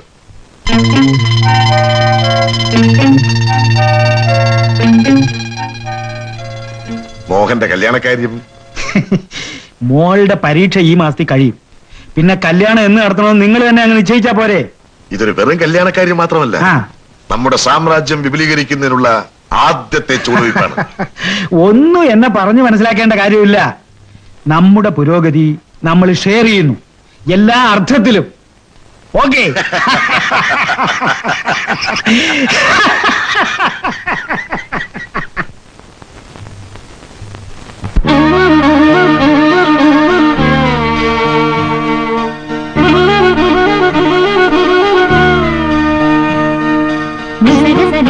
నిసగస నిసగస నిసగస పా. సగమగ సగమగ సగమగ సగమగ సా. సనిప నిపమ సనిప నిపమ. సనిగ సమగ పమ నిప సనిగ నిస పనసని సగ సగమగ మప మపని పనసని సగ సా. సగమప నిపమప సగమప നിപമപ ശ്യാമമേഘമേനി യദുകുല സ്നേഹദൂതുമായി വാ. ഇതുവഴി കാളിന്റെ തടത്തിൽ അരിയൊരു പ്രേമഹർഷമായി. കുഴൽവിളി അനനെയും നദി തന്റെ ഹൃദയം പുളകം ഞൊറിയുകയായി സുരഭിലമാകും സുന്ദര സന്ധ്യാ പനിനീർ മഴയിൽ കുളിരുമ്പോൾ അഴകായി അരികിൽ വരുമോ?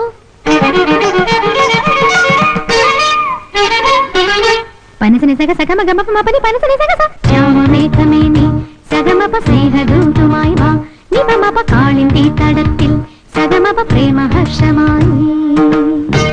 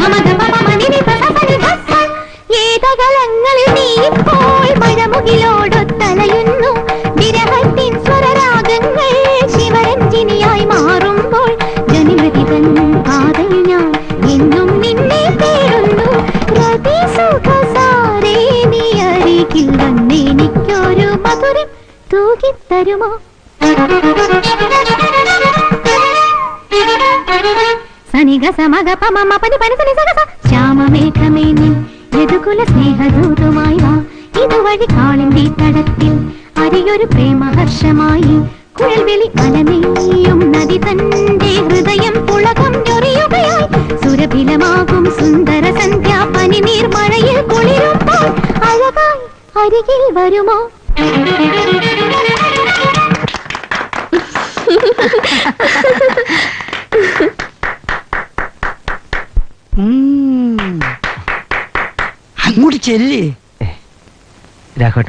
അയ്യേ രാഘവേറ്റാണ് കൊഞ്ചി കളിക്കുന്നു അങ്ങോട്ട് ചെല്ലുന്നില്ല.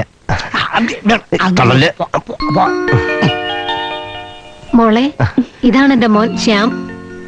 വാ അമ്മേ ചായ എടുത്തിട്ട് വരാം. ഈ സാറിന് സംഗീതം എന്ന് പറഞ്ഞ രാഘവേട്ടാ പുറത്താരോ വന്നിട്ടുണ്ട്. ആരില്ലെന്ന്? അല്ല ഈ ഗേറ്റിന്റെ അടുത്ത് ഗേറ്റിന്റെ അടുത്ത്? ആ.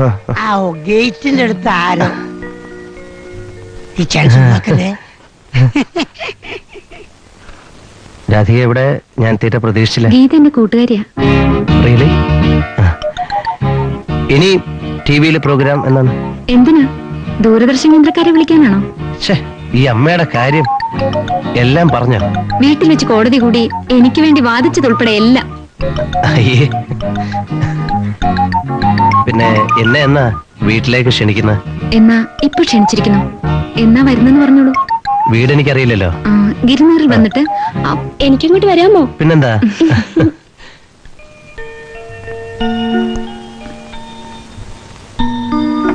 എന്നോടൊരു വാക്ക് നേരത്തെ പറഞ്ഞിരുന്നെങ്കിൽ പബ്ലിക് റോഡിൽ വെച്ചുള്ള ഈ റൊമാൻസ് ഒക്കെ ഒഴിവാക്കായിരുന്നു. എന്താ? ഏ ഒന്നുമില്ല. എന്താ മോളെ? ഏ ഒന്നുമില്ല. ഗീതെ നമുക്കിറങ്ങാം. സമയം കുറയായി. രാഘവ. ഞാൻ ഞാൻ വേണ്ട വേണ്ട ഞങ്ങൾ രാഘവട്ടിനെ കൂട്ടി പോയിക്കോളാം. വാ മോളെ.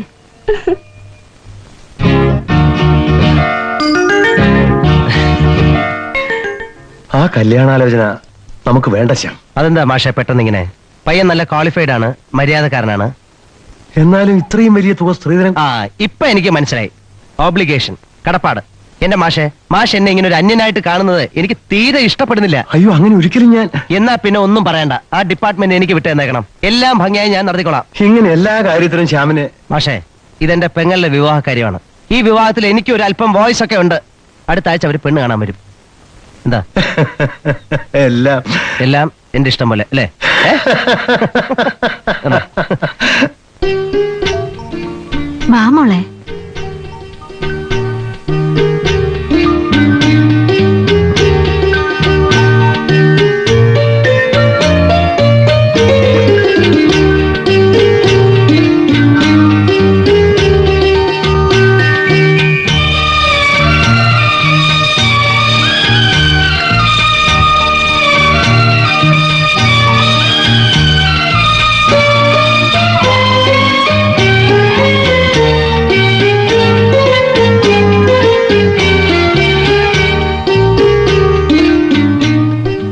എങ്ങനെയുണ്ട്? ഇഷ്ടപ്പെട്ടോ?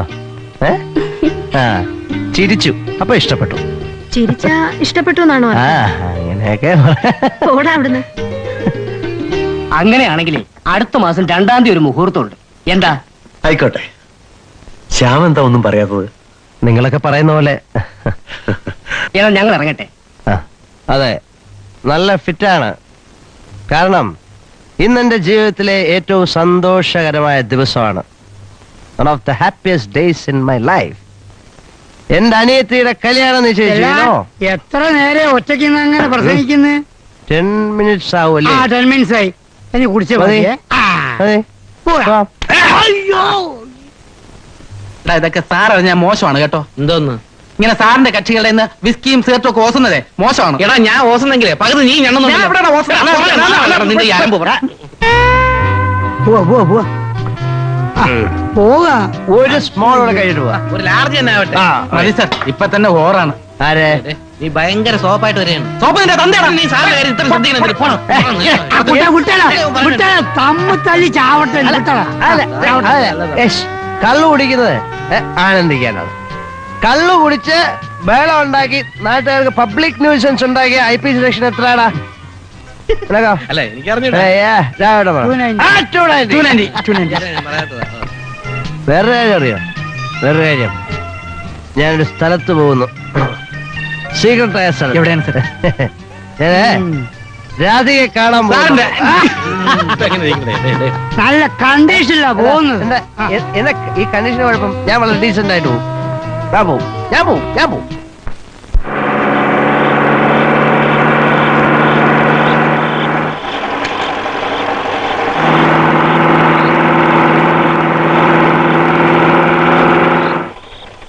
അതെ.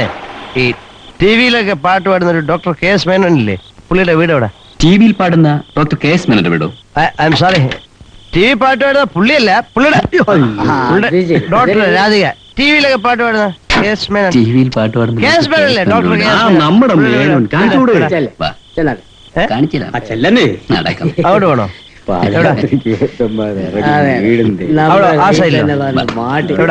എവിടെ? എന്റെ ഈ മാല ഡോക്ടർ. കെ എസ് മേനോൻ ഊരാ. ഊരാ. ഊരാ. ഊരാ. മാല അത് ശരി മാല പിച്ചാതെ കാണിക്കൂ. കുത്തോ? അതെ, ഊരാ. ഞാൻ എടുത്തില്ല. അഞ്ചെട്ട് പവന്റെ മാലയാ. Doctor K S Menon. മോതിരം അതങ്ങനെ ഊരാൻ പറ്റത്തില്ല. സോപ്പ് സോപ്പ് ഇട്ട് വേണം സോപ്പൊന്നും ഇടണ്ട. ഞാൻ ഊരി തരാം. ഡോക്ടർ കെ എസ് മേനന്റെ വീട്. വാച്ചില്ല. വാച്ച്. വാച്ചില്ല. ഊരിയും തരണോ? ഇതാ, ഇതങ്ങോട്ട് ഊരാൻ പറ്റുന്നില്ല. കണ്ടത് ഒരു ഡോക്ടർ കെ എസ് മേനൻ. ഊരത്തില്ലടോ. ഊരാനില്ല മേത്ത് വിട്ടുള്ള കളി മതി. തള്ളുന്നില്ല അടിച്ച് പിറ്റായി വന്നിട്ട് നിനക്ക് വല്ല പെണ്ണുങ്ങളുടെ വീട് കാണാൻ ഏ, ആരെ ഇരുന്നാ മതി. ഞാൻ ഈ നാട്ടുകാരൻ തന്നെ കേട്ടോ. നിക്ക് നിക്കേ ഒരു കാര്യം ചോദിച്ചോട്ടെ, പ്രശ്നമൊന്നുമില്ല. നിങ്ങൾക്ക് ഡോക്ടർ കെ എസ് മേനോന്റെ വീട് അറിയാം. ഇവിടെ അതെന്താ വെച്ചാൽ ഒരു വീട് ചോദിച്ചാൽ ഇങ്ങനെയൊക്കെയാണ് ഒരു വീട് ചോദിച്ചാൽ ഇങ്ങനെയൊക്കെയാണ് കാണിക്കുന്നത്. അത് മോശമാണ്. മോശമാണ്.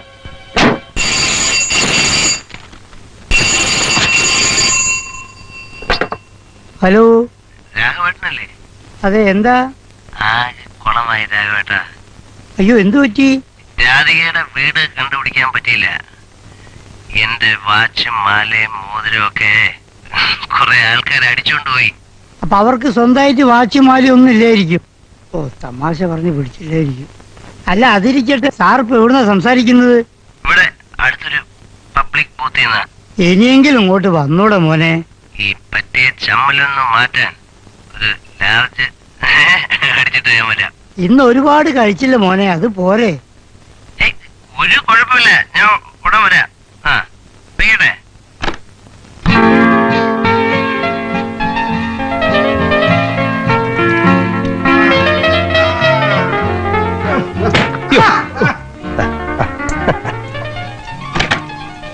ഹലോ ഇതൊരു വീടില്ലേ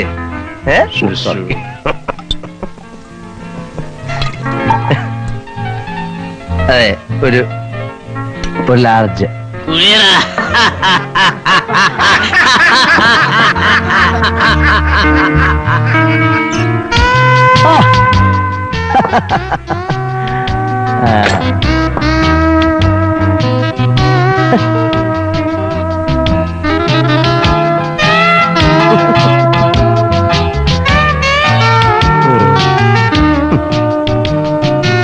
എന്നെ നിങ്ങൾക്ക് പരിചയമുണ്ടോ? ആ എനിക്ക് നിങ്ങളെ പരിചയമില്ല. പക്ഷെ നിങ്ങളെ പോലിരിക്കുന്ന വേറെ നാല് പേരെ എനിക്കറിയാം. അവന്മാർ എന്നെ കുറെ ഇടി ഇടിച്ചിട്ട് എന്റെ കയ്യിലുള്ള സാധനങ്ങളൊക്കെ പിടിച്ചോണ്ട് പോയി. അപ്പൊ ഞാൻ പോയ ആവശ്യം വേറെ ആയിരുന്നു ഇനി അഥവാ അവന്മാർ എന്റെ കയ്യിൽ കിട്ടുകയാണെങ്കിൽ ആദ്യം പിടിക്കും. അപ്പൊ പുറകെ ഇരിക്കുന്ന ചാടി എനിക്ക് എന്നിട്ട് ഇവരെ ഞാൻ ഇങ്ങനെ പൊക്കി എടുത്തിട്ട് മാല ഊരിയിട്ട് ഒറ്റ മാല ഞാൻ കഴുത്തിലിടും. അപ്പൊ പുറകെ ഇരിക്കുന്ന രണ്ടാം എണീക്കും. അവന്മാരെ ഞാൻ ഒറ്റ ഇടി വെച്ച് കൊടുക്കുമ്പോ പുറകെ നിർത്താൻ ചാടി വരുമ്പോ ആ കുഞ്ഞിട്ട് ഇങ്ങനെ പിടിക്കും. എന്നിട്ട് ഞാൻ അവന്റെ ഈ വാച്ച് ഊരിയിട്ട് ഒറ്റ ഏറി എന്നിട്ട് ഞാൻ ഈ വാച്ച് കൈ കെട്ടും. അപ്പൊ ഞാനൊരു പിടിച്ചു നിർത്തിട്ട് ഈ മോതിരം ഊരി എടുത്തിട്ട് അപ്പൊ പുറകിന് ചാടി വരുമ്പോ പിടിച്ച് തിരിച്ചങ്ങ് വെക്കും. അപ്പൊ ഇതുമായിട്ട് സംബന്ധമില്ലാത്ത ഒരാൾ വരുമ്പോ ഞാൻ.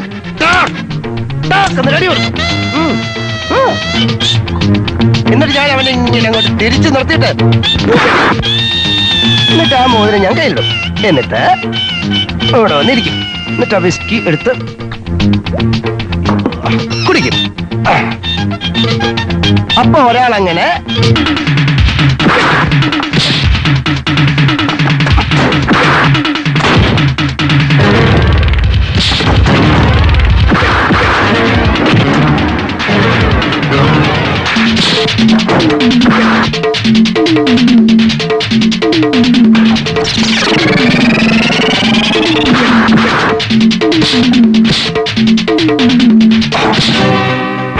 small whisky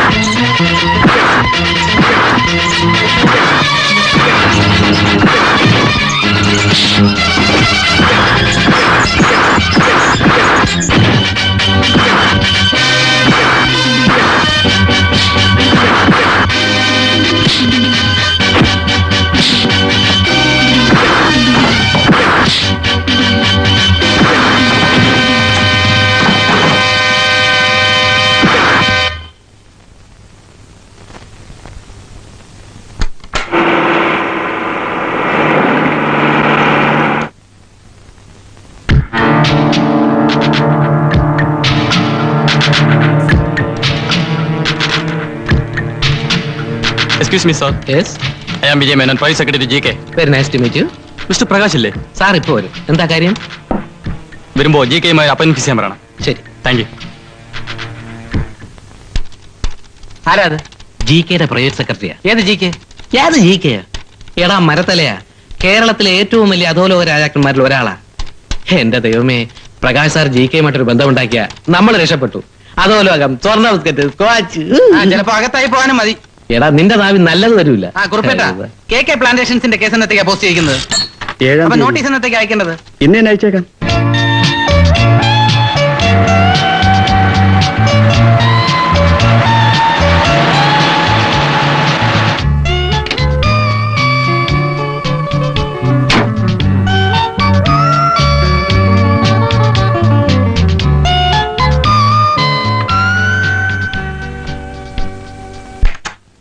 Yes I'm Shyam Prakash please come in thank you hello sir welcome mister Prakash Prakash ഇരിക്കൂ താങ്ക് യു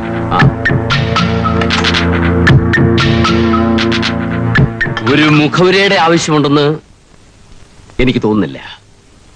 പ്രകാശ് ഞാനും കൈമളും ബിസിനസ് പാർട്ട്നേഴ്സ് ആയിരുന്നു എന്നുള്ള കാര്യം പ്രകാശിന് അറിയാവോ ഇല്ല. അതെ. വർഷങ്ങൾക്ക് മുമ്പുള്ള കഥ. തെറ്റുകളുടെ വഴിയിലൂടെ സഞ്ചരിച്ച് ധനികരായി തീർന്ന രണ്ട് റെയിൽവേ പോർട്ടർമാരുടെ കഥ. അതിന്റെ ക്ലൈമാക്സ് മാത്രം പറയാം. ഒരു നിർണായക ഘട്ടത്തിൽ കൈമൾ എന്നെ പിന്നിൽ നിന്നും കുത്തി.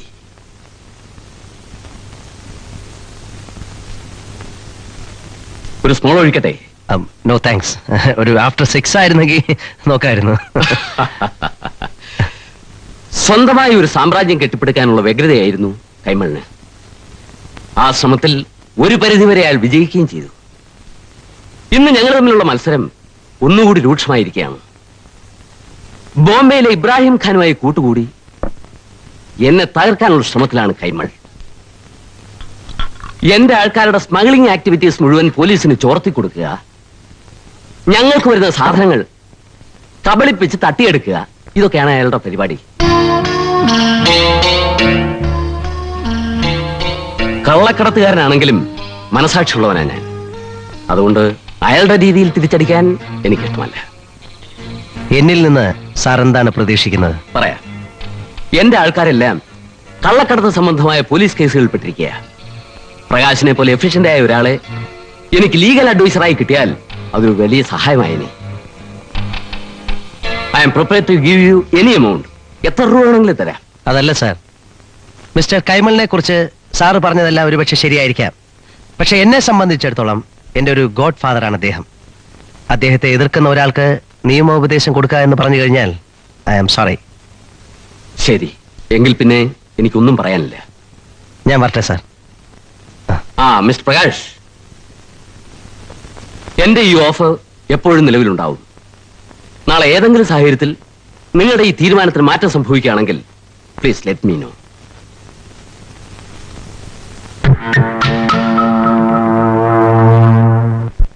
അങ്ങനെ അയാൾ പ്രകാശം തട്ടിക്കൊണ്ട് പോകുന്നതിൽ പോട്ടെ. ആരും ഈ ലോകത്തൊരു മസ്റ്റൊന്നുമല്ല. ആദ്യത്തിന്റെ എടുത്തേട്ടോ നിർത്ത്. മിനിസുമായിട്ടുള്ള നമ്മുടെ കണക്ഷൻസ് ഉൾപ്പെടെ എല്ലാ മൈന്യൂട്ട് രഹസ്യങ്ങളും അറിയാവുന്ന ആളാണ് പ്രകാശ്. അയാൾ ജി കെയുടെ സൈഡിലേക്ക് പോയാൽ അതൊരു പ്രശ്നമാകും. ശരി. എങ്കിൽ അച്ഛനും അമ്മാനും കൂടി അവന്റെ കാൽ പിടിക്കണം. ഈ വക കാര്യങ്ങൾക്കൊന്നും എന്നെ കിട്ടില്ല.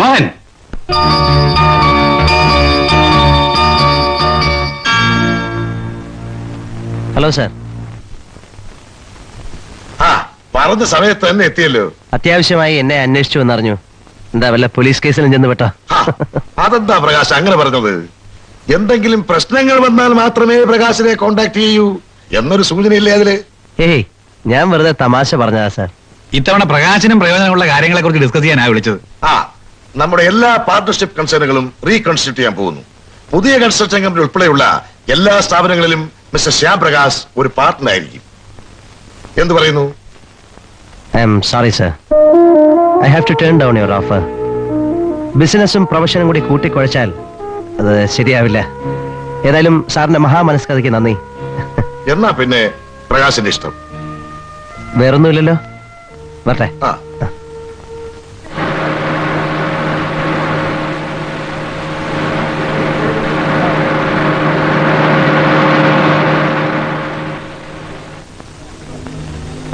ഇയാളൊരു ചുക്കും പറയണ്ട. തനിക്ക് ആരുമല്ല ലൈസൻസ് അത് ശരി.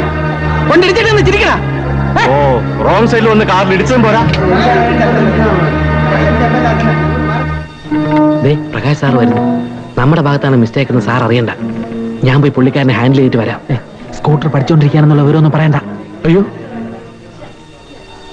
വണ്ടി ഒന്നും എടുക്കാൻ നോക്കണ്ട. പോലീസ് ഒരു തീരുമാനമാവട്ടെ എന്നിട്ട് എടുത്താൽ മതി. എന്തുവാടേ പ്രശ്നം? സാർ സ്കൂട്ടർ ഒന്ന് തട്ടി. ഓ അത് ശരി. നമ്പരില്ല റോങ് സൈഡിൽ കൊണ്ടുവന്ന് എന്നെ കാറിൽ ഇടിച്ചു.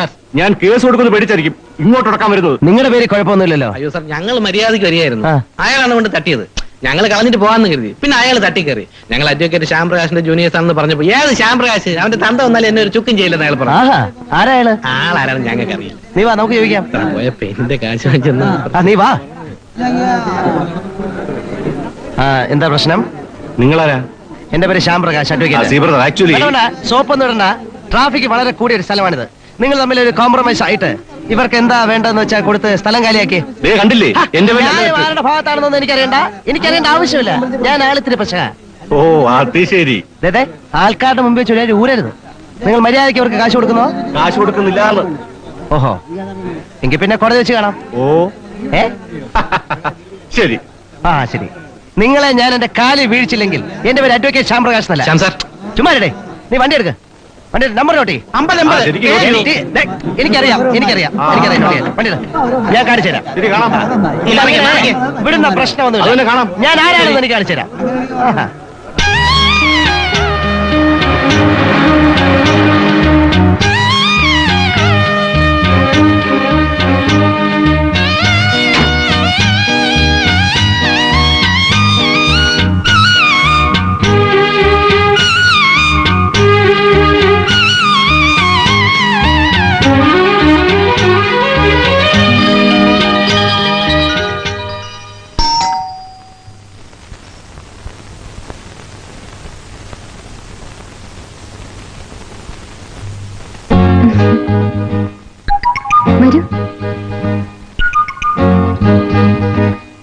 Doctor sir സാറുണ്ടോ? ഉണ്ടുണ്ട്. കുളിച്ചോണ്ടിരിക്കാൻ ഇപ്പൊ വരും.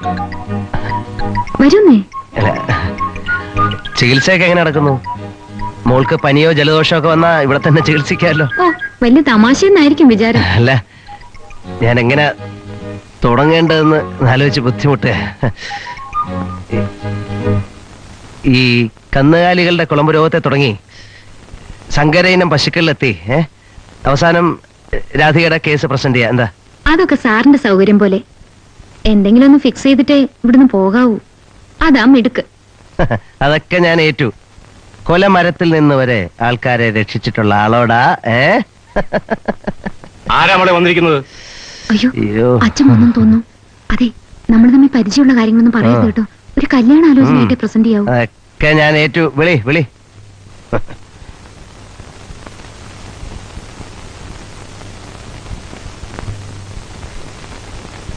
ആരാ? എന്തു വേണം?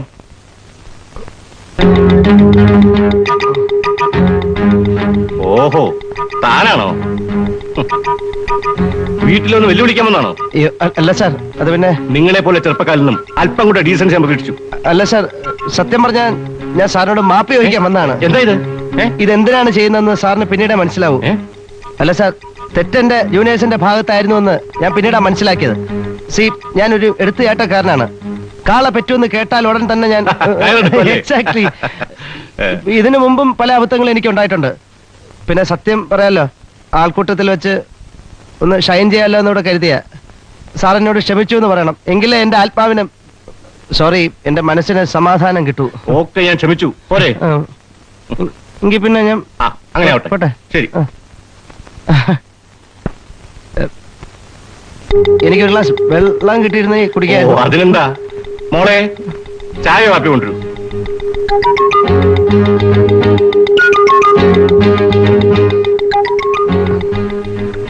മകളായിരിക്കും അല്ലേ? എന്താ? അല്ല ഒന്നുമില്ല. ആ ചായ കുടിക്കും. അച്ഛന്? ആ വേണ്ട. സാർ ഒരു മൃഗ ഡോക്ടറാണല്ലേ? എങ്ങനെ അറിയാം അല്ല എനിക്ക് കണ്ടപ്പോ മനസ്സിലായി. അയ്യല്ല ഞാൻ മൃഗ മൃഗാശുപത്രി വെച്ച് സാറിനെ ഒരിക്കൽ കണ്ടു. അങ്ങനെ മനസ്സിലായി. സാർ എനിക്കൊരു ഉപകാരം ചെയ്തു തരണം. ഇറ്റ്സ് എ റിക്വസ്റ്റ് എന്താ പറയൂ? സാർ അതിനെ നോ എന്ന് പറയരുത്. ഇതെന്റെ ജീവിതത്തിന്റെ ഒരു പ്രശ്നമാണ്. സി ഈ നാട്ടിൽ ഏറ്റവും പ്രാക്ടീസ് ഉള്ള ഒരു ക്രിമിനൽ ലോയറാണ് ഞാൻ. സാർ എനിക്ക് സാറിന്റെ എന്റെ സാറിന് നോ എന്ന് പറയരുത്. സാർ എനിക്ക് സാറിന്റെ സാർ എനിക്ക് സാറിന്റെ ഒരു അൽസേഷൻ പട്ടിക്കുട്ടി തരണം. അതിലൂടെ പട്ടികളെ ഇല്ലല്ലോ. പട്ടിയില്ലേ. എന്നാ ഞാൻ ഇറങ്ങട്ടെ. ആ. ഒന്നേ നിന്നേ. ശ്യാമിന്റെ അമ്മ ഇന്നലെ രാവിലെ ഇവിടെ വന്നിരുന്നു നിങ്ങളുടെ വിവാഹം അടുത്ത മാസം നടത്താൻ തീരുമാനിച്ച ഞങ്ങൾ പിരിഞ്ഞത് ഉം.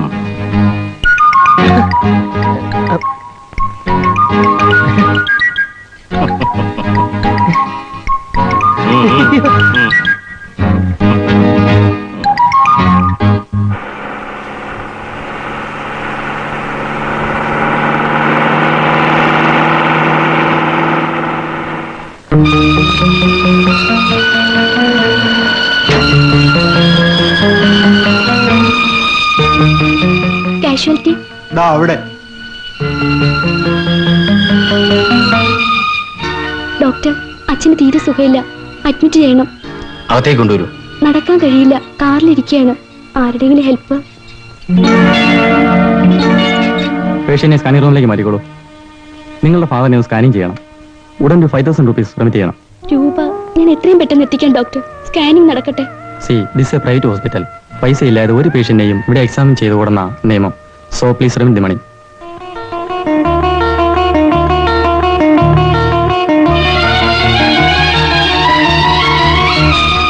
ഒന്ന് ഫോൺ ചെയ്യണമായിരുന്നു നമ്പർ എത്രയാ? Double six double four three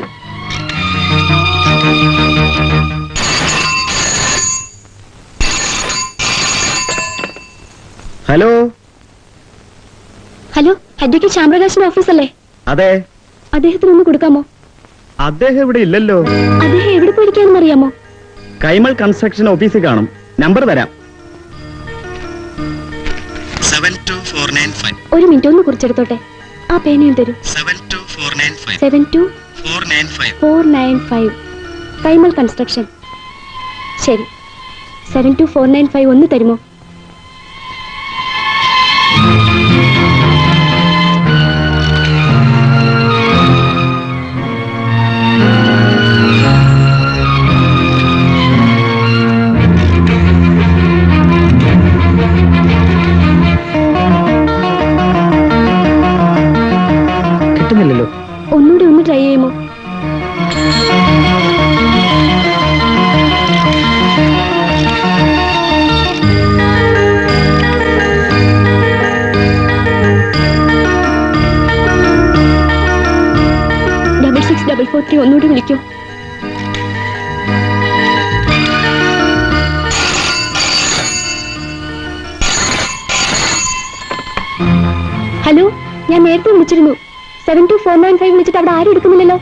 വൈകുന്നേരം ആറു മണി വരെ അവിടെ കാണുമെന്നാണല്ലോ അദ്ദേഹം പറഞ്ഞിരുന്നത്. ആരെങ്കിലും വന്നാലേ അങ്ങോട്ട് പറഞ്ഞേക്കാനാ എന്നോട് പറഞ്ഞിട്ടുള്ളത്. അദ്ദേഹം ഓഫീസിലേക്ക് വരണമെങ്കിൽ മാഷിനെ കെ എൻ ഹോസ്പിറ്റലിൽ അഡ്മിറ്റ് ചെയ്തു പറയണം.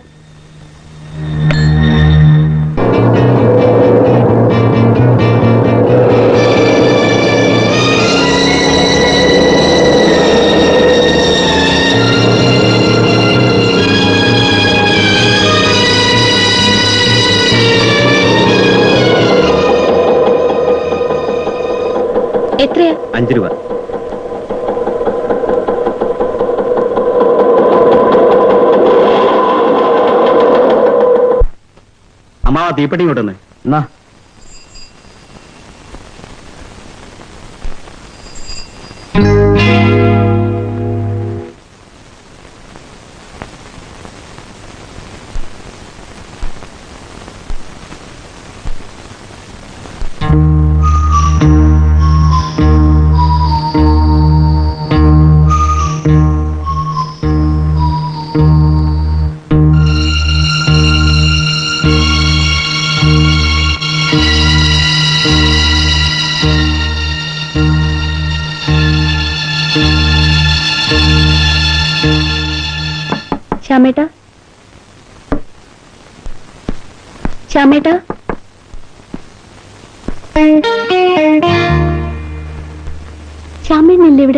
ശ്യാം പ്രകാശ് ഉണ്ടല്ലോ ഞാൻ വിളിക്കാം. ഇരിക്കൂ.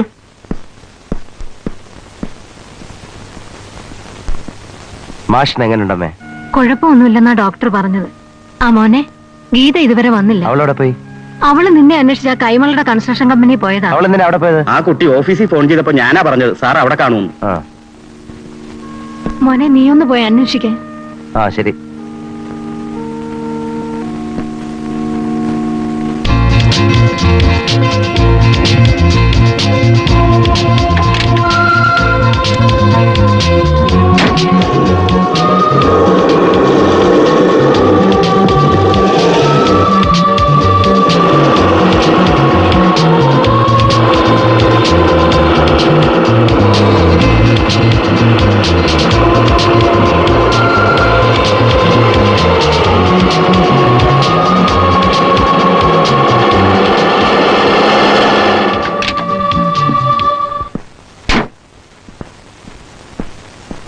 എന്നെ തിരക്കി മാഷിന്റെ മകൾ ഇവിടെ വന്നോ? ഇവിടെ വന്ന് കണ്ടില്ലല്ലോ സാറേ.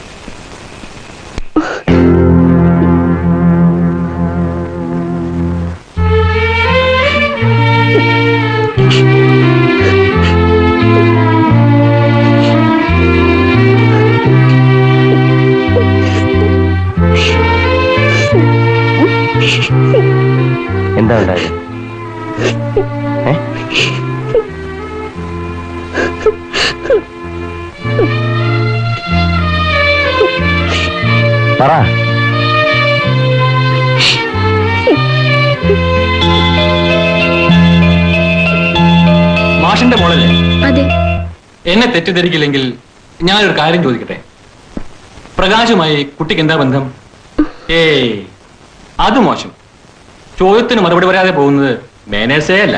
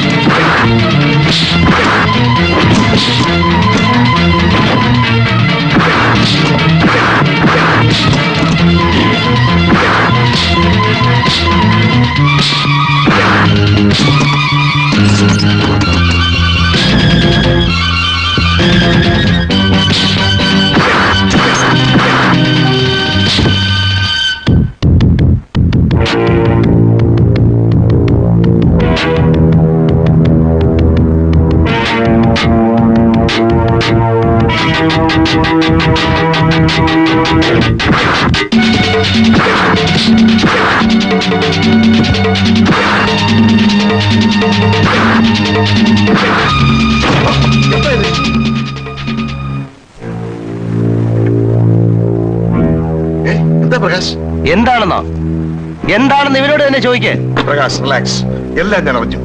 സോൾവ് ചെയ്യാവുന്ന പ്രശ്നങ്ങൾ ഇവിടെ ഉണ്ടായിട്ടുള്ളൂ യു റിലാക്സ് വരൂ കമോൺ ശ്രീ പ്രകാശ് എന്റെ സ്ഥാപനങ്ങളുടെ ലീഗൽ അഡ്വൈസർ എന്നതിനേക്കാൾ ഉപരി പ്രകാശ് എനിക്ക് എന്റെ മോനെ പോലെ തന്നെയാണ്. എങ്ങു നിന്നോ വന്ന ഒരു പെണ്ണിന് വേണ്ടി നമ്മുടെ ബന്ധം എങ്ങു നിന്നോ വന്ന പെണ്ണൊന്നുമല്ല. ഗീത എന്റെ പെങ്ങളാ. ഷീസ് മൈ സിസ്റ്റർ പെങ്ങൾ എന്ന് പറയണ്ട. പെങ്ങളെ പോലെ എന്ന് പറഞ്ഞാൽ മതി. സർ നിങ്ങൾക്ക് അത് പറഞ്ഞാൽ മനസ്സിലാവില്ല. എല്ലാം എനിക്കറിയാം. നടക്കാൻ പാടില്ലാത്താണ് നടന്നത്. ചെറുപ്പമല്ലേ ചില ദുർബല നിമിഷങ്ങളിൽ ആരായിരുന്നാലും സർ. ഈ സംഭവം ഒരു നിർഭാഗ്യകരമായ അപകടമാണ്. അൺഫോർച്ചുനേറ്റ് ആക്സിഡന്റ് അപകടങ്ങളിൽ വിക്ടിംസ് ആകുന്നവർക്ക് സാധാരണ രീതിയിൽ എന്താണ് കിട്ടുക? നഷ്ടപരിഹാരം. പ്രകാശ് പറഞ്ഞോളൂ. എത്ര കാശ് വേണമെങ്കിലും കൊടുക്കാൻ ഞാൻ തയ്യാറാണ്. അങ്ങനെ വില കൊടുത്ത് വാങ്ങാൻ കഴിയുന്നതല്ല ആ കുട്ടിക്ക് നഷ്ടപ്പെട്ടത്. ഓക്കെ ഒരു ഒത്തുതീർപ്പിന് ഞാൻ തയ്യാറാണ്. വളരെ ന്യായമായ ഒരു ആവശ്യം. വൺ റീസണബിൾ ഡിമാൻഡ് മോഹൻ ഗീതയെ വിവാഹം കഴിക്കണം. അതല്ല പ്രകാശ് അതിപ്പോ മിനിസ്റ്ററുടെ മകളുമായിട്ടുള്ള ഒരു പ്രപ്പോസൽ ഒക്കെ ശരിയായിരിക്കുകയാണ്. അതൊരു പ്രപ്പോസൽ മാത്രമാണ്. ഇതൊരു പെൺകുട്ടിയുടെ ജീവിത പ്രശ്നമാണ്. അല്പം കൂടി പ്രാക്ടിക്കൽ ആയിട്ടുള്ള എന്തെങ്കിലും പറയൂ പ്രകാശ്. എന്താ? അവർക്ക് കാശില്ല എന്നുള്ളതാണ് നിങ്ങളുടെ പ്രശ്നം. സി എന്റെ പേരിലുള്ള എല്ലാ സ്വത്തുക്കളും ഞാൻ അവളുടെ പേരിൽ എഴുതി വെക്കാം എത്ര കാശ് വേണമെങ്കിലും ഞാൻ നിങ്ങൾക്ക് തരാം. പറയൂ how much do you want very sorry Prakash. ഈ ഒരു കാര്യം ഒഴിച്ച് വേറെ എന്ത് വേണമെന്ന് ചോദിച്ചോളൂ. ഇതിൽ കുറഞ്ഞുള്ള ഒരു കോംപ്രമൈസിനും ഞാൻ തയ്യാറല്ല. നിങ്ങൾ പറയുന്ന കോംപ്രമൈസ് എനിക്ക് സ്വീകാര്യവുമല്ല ഉറപ്പാണോ? ഉറപ്പാണ്.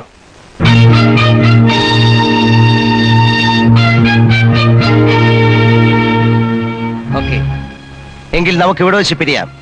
Mister Kaimal we are parting our ways here ചതഞ്ഞ പാമ്പിനെ കൊല്ലണ്ടെന്ന് കരുതിയ. മാത്രമല്ല നിന്നെ എനിക്ക് ആവശ്യമുണ്ട്. എന്റെ പെങ്ങടെ കഴുത്തി താലി കെട്ടാൻ.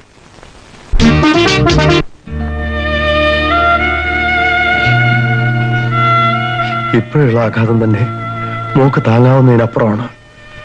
ഇനിയിപ്പോ കോടതി കേസും കൂടെ കൊടുത്തത് അത് വേണോ ശ്യാം? വേണം. തീർച്ചയായും വേണം. വളരെ പ്രാക്ടിക്കൽ ആയിട്ടുള്ള ഒരു വഴി എന്ന നിലയ്ക്കാണ് ഞാൻ മോഹനെതിരെ കേസ് കൊടുക്കാൻ തീരുമാനിച്ചത്. വിക്ടംസിനെ ചോദ്യം ചെയ്ത് പരിഹാസ്യ കഥാപാത്രങ്ങളാക്കിയ ചരിത്രമാണ് ഇത്തരം കേസുകൾക്കെല്ലാം ഉള്ളത് നീതി ലഭിച്ചിട്ടുള്ളവർ എത്ര പേരുണ്ടാവും ശ്യാം? മാഷേ ഇത്തരം കേസുകളിൽ പ്രതിക്ക് ജീവപര്യന്തം വരെ ലഭിക്കാം. പക്ഷേ ഈ കേസിൽ മോഹന് ശിക്ഷ വാങ്ങിക്കൊടുക്കുകയല്ല എന്റെ ഉദ്ദേശം. ഞാൻ ഈ കേസ് ഫൈറ്റ് ചെയ്താൽ നൂറ് ശതമാനം വിജയിക്കുമെന്ന് കൈമലിനറിയാം അതുകൊണ്ട് നിയമ നടപടികൾ തുടങ്ങിക്കഴിഞ്ഞാൽ അയാൾ ഒത്തുതീർപ്പിന് വരുമെന്ന് എനിക്ക് ഉറപ്പാണ്. അങ്ങനെ അല്പം വൈകിയാണെങ്കിലും മോഹനെ കൊണ്ട് തന്നെ ഗീതയെ വിവാഹം കഴിപ്പിക്കാമെന്ന എന്റെ കണക്കൂട്ടൽ അതുകൊണ്ട് ഈ കേസ് ഫയൽ ചെയ്യാൻ മാഷിനെ അനുവദിക്കണം. ഇറ്റ്സ് എ റിക്വസ്റ്റ് എല്ലാം ശ്യാമിന്റെ ഇഷ്ടം. ഗീതയോട് കൂടി ഇതിനെക്കുറിച്ചൊന്ന് സംസാരിക്കണം.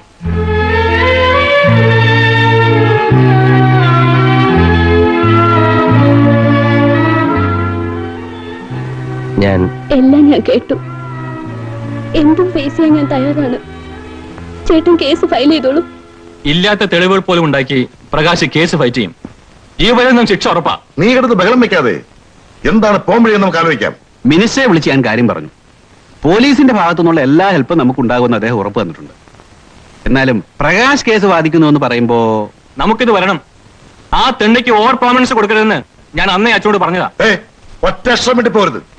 ഇത്രയും കുഴപ്പങ്ങൾക്കൊക്കെ കാരണം നീ ഒറ്റ ഒരുത്തനാ മാർഷിന്റെ ഫാമിലിയോട് പ്രകാശനുള്ള സെന്റിമെന്റ്സ് എന്താണെന്ന് നിനക്ക് അറിയാമായിരുന്നിട്ടും ആ പെണ്ണിനെ ആ, വെറുതെ പഴയ കാര്യങ്ങൾ കുത്തിപ്പോകുന്ന എന്തിനാളിയാ?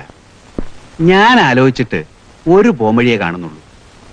പ്രകാശുമായി ഒരു കോംപ്രമൈസിന് ഒന്നുകൂടി ട്രൈ ചെയ്താലോ? ഞാൻ ആ തെണ്ടി പെണ്ണിനെ വിവാഹം കഴിക്കണമെന്നാണ് അമ്മാവൻ പറയുന്നത്? അതിൽ കുറഞ്ഞ് ഉറത്തു തീർപ്പം തയ്യാറില്ല എന്ന് പച്ച മലയാളത്തിലല്ലേ പ്രകാശ് പറഞ്ഞത്? പ്രകാശിനെ നമുക്കറിയില്ലേ? അയാൾ ഒരു വാക്ക് പറഞ്ഞാൽ അത് വാക്കാണ്. ആ സ്റ്റാൻഡ് പോയിന്റിൽ നിന്നും അയാൾ പിന്മാറുന്ന പ്രശ്നമേ ഇല്ല. പിന്നെ? പ്രതിരോധമല്ല നമുക്ക് ആവശ്യം പ്രത്യാക്രമണമാണ്. എനിക്കറിയാം എന്താണ് ചെയ്യേണ്ടത്. യെസ് യു കൻ പ്രൊസീഡ് നിങ്ങൾ ഈ ടെലിഫോൺ ബൂത്ത് തുടങ്ങിയിട്ട് എത്ര നാളായി? അഞ്ചു കൊല്ലം. ഉദ്ദേശം എത്ര മണിക്കാണ് മിസ് ഗീത ഈ ഫോൺ കോളുകളൊക്കെ ചെയ്ത് ഏകദേശം മൂന്ന് മണിയായി കാണും. ആദ്യം ഏത് നമ്പറിലേക്കാണ് ഫോൺ ചെയ്തത്? Double six double four three. ഈ നമ്പർ വിളിച്ച് മിസ് ഗീത എന്താണ് സംസാരിച്ചതെന്ന് നിങ്ങൾക്ക് ഓർമ്മയുണ്ടോ? ആ കുട്ടിയുടെ സംസാരത്തിൽ നിന്നും അഡ്വക്കേറ്റ് ശ്യാംപ്രകാശിന്റെ ഓഫീസിലേക്കാണ് വിളിച്ചതെന്ന് ഞാൻ ഊഹിച്ചു. അടുത്തത് ഏത് നമ്പറിലേക്കാണ് വിളിച്ചത്? Seven two four nine five Kaimal construction ഓഫീസിലേക്ക്. കൈമൽ കൺസ്ട്രക്ഷൻസിലേക്കാണ് വിളിച്ചതെന്ന് നിങ്ങൾക്ക് എങ്ങനെ മനസ്സിലായി? കൈമൽ കൺസ്ട്രക്ഷൻ എന്നുള്ളതും seven two four nine five എന്ന നമ്പരും അവർ കുറിച്ചിട്ടത് എന്റെ accounting ഷീറ്റിലാണ് seven two four nine five എന്ന നമ്പർ വിളിച്ചിട്ട് എന്താണ് പറഞ്ഞത്? വളരെയധികം ട്രൈ ചെയ്തിട്ടും ആ നമ്പർ കിട്ടിയില്ല. എന്നിട്ട്? അവർ വീണ്ടും double six double four three വിളിച്ച് കൈമൽ കൺസ്ട്രക്ഷന്റെ അഡ്രസ് ചോദിച്ച് മനസ്സിലാക്കി. ആ കുട്ടി അങ്ങോട്ടാണ് പോകുന്നതെന്നും എന്നോട് പറഞ്ഞു. ഇവരാണ് കൈൻഡ്ലി നോട്ട് ദിസ് പോയിന്റ് ഈ ഫോൺ കോളുകൾ ചെയ്തതിന്റെ ചാർജസ് മിസ് ഗീതയുടെ കയ്യിൽ നിന്ന് ഈടാക്കേണ്ട റെസീറ്റ് ഞാൻ ഇവിടെ സബ്മിറ്റ് ചെയ്യാണ്.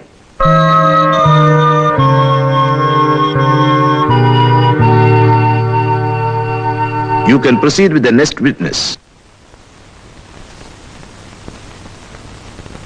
എത്ര മണിക്കാണ് മിസ് ഗീത നിങ്ങളുടെ ഓട്ടോറിക്ഷ പിടിച്ചത്? ഒരു മൂന്നര നാലാവും. ഏത് സ്ഥലത്തേക്ക് പോകണമെന്നാണ് അവർ പറഞ്ഞത്? നേതാജി റോഡിലുള്ള കൈമൾ കൺസ്ട്രക്ഷന്റെ ഓഫീസിൽ പോകണമെന്ന് പറഞ്ഞു. എന്നിട്ട്? ഞാൻ അവിടെ കൊണ്ടുപോയി വിട്ടു. അവർ ഓഫീസിലേക്ക് കയറി പോകുന്നത് നിങ്ങൾ കണ്ടോ? കണ്ടു സർ. അതെങ്ങനെ കണ്ടു? അപ്പൊ നിങ്ങൾ അവിടെ വെയിറ്റ് ചെയ്തോ? ഇല്ല. തിരിച്ചു വരുന്നതിന് മുമ്പ് ബീഡി കത്തിക്കാനായി അവിടെ നിന്ന് ഒരാളോട് തീപ്പെട്ടി ചോദിച്ചു. ആ സമയത്താണ് ഗീത ഓഫീസിനകത്തേക്ക് കയറി പോകുന്നത് കണ്ടത്. ഇവരാണ് മിസ് ഗീത നാല് മണിക്ക് കൈമൽ കൺസ്ട്രക്ഷൻസിന്റെ ഓഫീസിൽ പോയിരുന്നു എന്നുള്ളത് സാക്ഷിമൊഴിയിൽ നിന്ന് വ്യക്തമാണ്.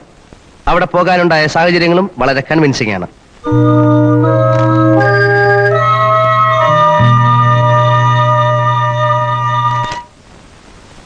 ഇവരാണ് ഇത് മെഡിക്കൽ റിപ്പോർട്ട്സ് ആണ്. ഈ പട്ടണത്തിലെ ഏറ്റവും ലീഡിംഗ് ആയിട്ടുള്ള മൂന്ന് ഡോക്ടേഴ്സിന്റെ ഫൈൻഡിങ്സ് ആണിത്. ഇതിൽ നിന്ന് മിസ് ഗീത ഒരു ബലാത്സംഗത്തിന് ഇരയായിട്ടുണ്ട് എന്നുള്ളത് ബഹുമാനപ്പെട്ട കോടതിക്ക് ബോധ്യമാകും. സാഹചര്യ തെളിവുകളിൽ നിന്നും സാക്ഷികളുടെ മൊഴികളിൽ നിന്നും പ്രതി മോഹൻ തന്നെയാണ് ഗീതയെ ബലാത്കാരം ചെയ്തിട്ടുള്ളത് എന്ന് വ്യക്തമാണ്. ആയതിനാൽ Indian penal code section three seven five and three seven six പ്രകാരം പ്രതി മോഹന് ജീവപര്യന്തം തടവ് നൽകി ശിക്ഷിക്കണമെന്ന് ബഹുമാനപ്പെട്ട കോടതിയോട് ഞാൻ അപേക്ഷിക്കുകയാണ്. That's all your honour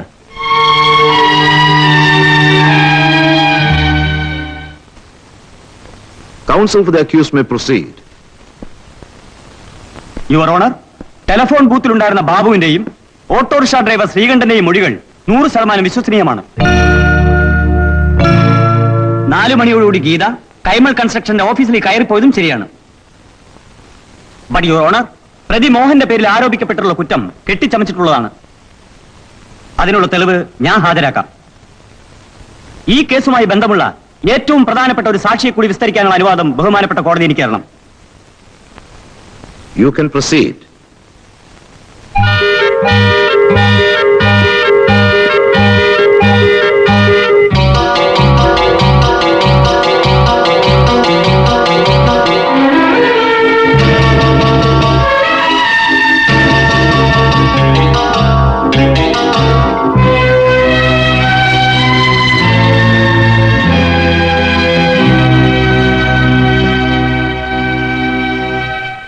നിങ്ങൾ മിസ്റ്റർ ശ്യാംപ്രകാശിനെ ജൂനിയറായി പ്രാക്ടീസ് ചെയ്യല്ലേ? അതെ. എത്ര കൊല്ലമായി? അഞ്ചു കൊല്ലം. സംഭവ ദിവസം നാലു മണിക്ക് കൈമൽ കൺസ്ട്രക്ഷനിൽ നടന്നെന്താണെന്ന് വ്യക്തമാക്കുന്നു ശ്യാംപ്രകാശ് സാർ പറഞ്ഞതനുസരിച്ച് ഒരു കേസിന്റെ ഡീറ്റെയിൽസ് ഡിസ്കസ് ചെയ്യാനായി കൈമൽസ് കൺസ്ട്രക്ഷന്റെ ഓഫീസിൽ ഉദ്ദേശം നാലു മണിക്ക് ഞാൻ പോയിരുന്നു. അവിടെ മിസ്റ്റർ മോഹനുമായി കേസിന്റെ കാര്യങ്ങൾ ഡിസ്കസ് ചെയ്തുകൊണ്ടിരുന്നപ്പോൾ മിസ് ഗീത അവിടെ വരികയും ശ്യാംപ്രകാശ് സാർ ഉണ്ടോ എന്ന് തിരക്കുകയും ചെയ്തു. അദ്ദേഹം അവിടെ വന്നിട്ടില്ലെന്നും അദ്ദേഹത്തിന്റെ വീട്ടിൽ തന്നെ കാണുമെന്നും മോഹൻ പറഞ്ഞു. അപ്പോൾ തന്നെ ഗീത മടങ്ങി പോവുകയും ചെയ്തു. വർഷം തന്റെ ജൂനിയറായി പ്രാക്ടീസ് ചെയ്തുകൊണ്ടിരിക്കുന്ന മാന്യ സുഹൃത്തിന്റെ മൊഴി മിസ്റ്റർ ശ്യാം പ്രകാശ് തീരെ പ്രതീക്ഷിച്ചിരിക്കില്ല പല കൊളരായ്മയ്ക്ക് കൂട്ടുനിന്ന് മടുത്ത് സത്യത്തിന്റെയും ന്യായത്തിന്റെയും പാതയിലൂടെ സഞ്ചരിക്കാൻ അല്പം വൈകിയെങ്കിലും മിസ്റ്റർ ഗോപാലകൃഷ്ണൻ സാധിച്ചു. That's all your honour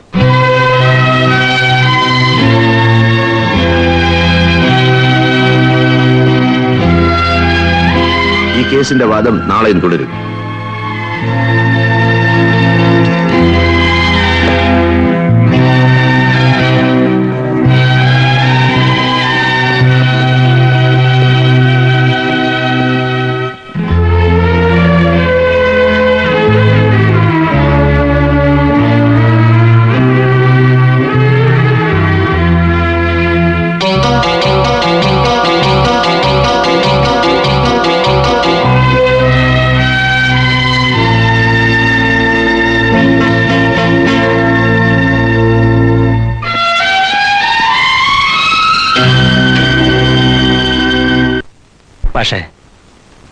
case കൊടുത്തത് തെറ്റായി പോയെന്ന് എല്ലാവരും എന്നെ കുറ്റപ്പെടുത്തുന്നു.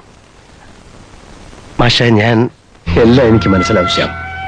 ഇത്തരം പരീക്ഷണങ്ങളോടൊന്നും മനസ്സ് തളരരുത്. അന്തിമ വിജയം എപ്പോഴും സത്യത്തിനും നീതിക്കുമായിരിക്കും.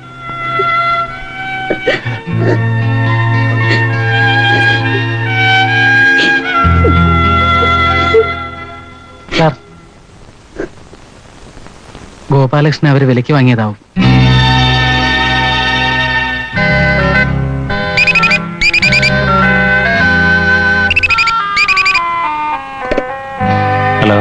ആർ യു പ്രകാശ് ഇതൊരു തുടക്കം മാത്രം. This is only a beginning കൂടുതൽ ഷോക്കുകൾ നേരിടാൻ തയ്യാറായിക്കൊള്ളൂ.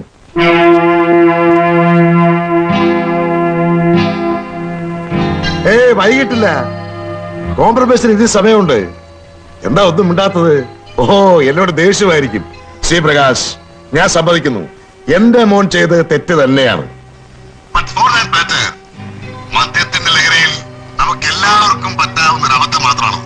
ഇരു കൂട്ടരും വിട്ടുവീഴ്ച ചെയ്യുന്നതിനെയാണ് കോംപ്രമൈസ് എന്ന് പറയുന്നത്. നമ്മൾ തമ്മിൽ ഇത്രയും അടുപ്പമുള്ള സ്ഥിതിക്ക് നിങ്ങൾ ഇപ്പോഴും ആദ്യത്തെ സ്റ്റാൻഡിൽ ഉറച്ചു നിൽക്കുന്നത് കഷ്ടമാണ്. എന്റെ ഓഫർ ഞാൻ റിപ്പീറ്റ് ചെയ്യുന്നു. നിങ്ങൾ ഈ കേസിൽ നിന്നും പിന്മാറുകയാണെങ്കിൽ ലക്ഷം രൂപ വരെ അവർ കൊടുക്കാൻ ഞാൻ തയ്യാറാണ്. ആ കുട്ടിക്ക് ഒരു പുതിയ ജീവിതം തുടങ്ങാൻ ഈ തുക ധാരാളമല്ലേ? നമുക്ക് എല്ലാം മറന്നൊന്നാകുകയും ചെയ്യാം. എന്തു പറയുന്നു മിസ്റ്റർ പ്രകാശ്?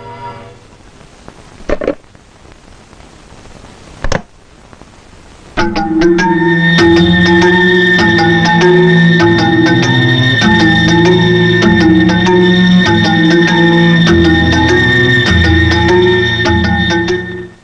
നടന്ന ദിവസം എത്ര മണിക്കാണ് നിങ്ങൾ കൈമൾ കൺസ്ട്രക്ഷൻസിന്റെ ഓഫീസിൽ എത്തിച്ചേർന്നത്? നാല് മണിക്ക്. എത്ര മണിക്കാണ് നിങ്ങൾ വീട്ടിൽ നിന്ന് ഇറങ്ങിയത്? മൂന്നരയ്ക്ക്. എന്തിനാണ് നിങ്ങൾ അവിടെ പോയത്? ഒരു കേസ് ഡിസ്കസ് ചെയ്യാൻ. ആര് പറഞ്ഞ അനുസരിച്ചാണ് മിസ്റ്റർ ശ്യാം പ്രകാശ് എന്തിനെ കുറിച്ചുള്ള കേസാണ്? വ്യാജമരുന്ന് വിറ്റതിന്റെ ആര് വിറ്റു? മിസ്റ്റർ കൈമൾ. മിസ്റ്റർ കൈമൾ വ്യാജമരുന്ന് വിറ്റു എന്നോ കൈമൾ വിറ്റു എന്നതാണ് പോലീസ് കേസ്. ഏത് വകുപ്പ് പ്രകാരമാണ് ആ കേസ് ചാർജ് ചെയ്തിട്ടുള്ളത്? ആ കേസിന്റെ വാദം ഏത് ഘട്ടം വരെയായി? ഇതുവരെ എത്ര സാക്ഷികളെ വിസ്തരിച്ചു കഴിഞ്ഞു? തൊണ്ടിയായ സാധനങ്ങൾ പിടിച്ചെടുത്തിട്ടുണ്ടോ? പ്രോസിക്യൂഷന്റെ പോയിന്റ്സ് എന്തൊക്കെയാണ്? I P C section two seven four adulteration of drugs ആണോ? I P C section two seven five sale of adulterated drugs ആണോ? പ്രോസിക്യൂഷൻ പ്ലീഡ് ചെയ്തിരിക്കുന്നത്?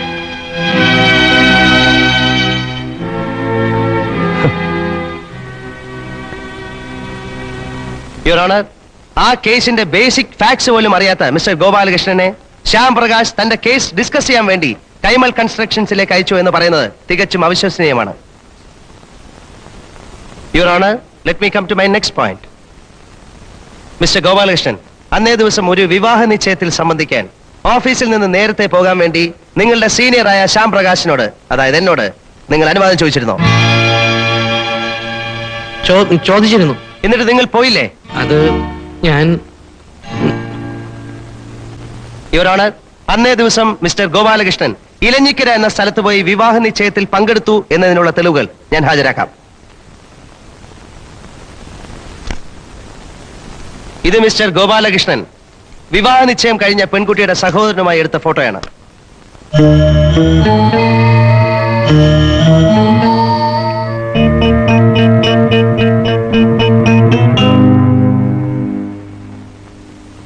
യുവർ ഓണർ ഞാൻ വിവാഹ നിശ്ചയത്തിന് പോയിരുന്നു എന്നത് സത്യമാണ്. പക്ഷേ അത് വൈകുന്നേരം അഞ്ചു മണിക്കായിരുന്നു. മിസ് ഗീത കൈമൽ കൺസ്ട്രക്ഷനിൽ വന്നു പോയ ഉടനെ ഞാൻ നേരെ എലിഞ്ഞിക്കരയ്ക്കാണ് പോയത്. യുവർ ഓണർ എന്റെ ജൂനിയറും മാന്യ സുഹൃത്തും സത്യസന്ധനും ഉണ്ട ചോറിന് നന്ദി കാണിക്കുന്നവനുമായ നമ്മുടെ സാക്ഷി മിസ്റ്റർ ഗോപാലകൃഷ്ണൻ പറഞ്ഞ എന്റെ സത്യാവസ്ഥ ബഹുമാനപ്പെട്ട കോടതിക്ക് മനസ്സിലാകണമെങ്കിൽ ഈ ഫോട്ടോയിൽ അദ്ദേഹം കയ്യിൽ ധരിച്ചിട്ടുള്ള വാച്ചിലെ സമയം നോക്കിയാൽ മതി.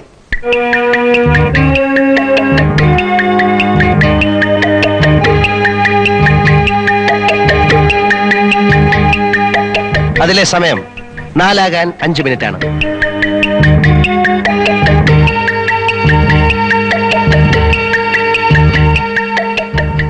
യുവർ ഓണർ അന്ന് അന്ന് എന്റെ വാച്ച് കേടായിരുന്നു.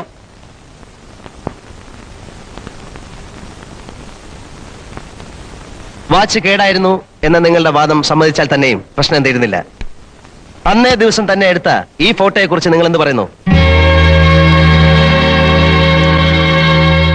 യുവർ ഓണർ ഈ ഫോട്ടോയിൽ ചുവരിലുള്ള ക്ലോക്കിലെ സമയം അങ്ങ് ദയവായി നോക്കണം.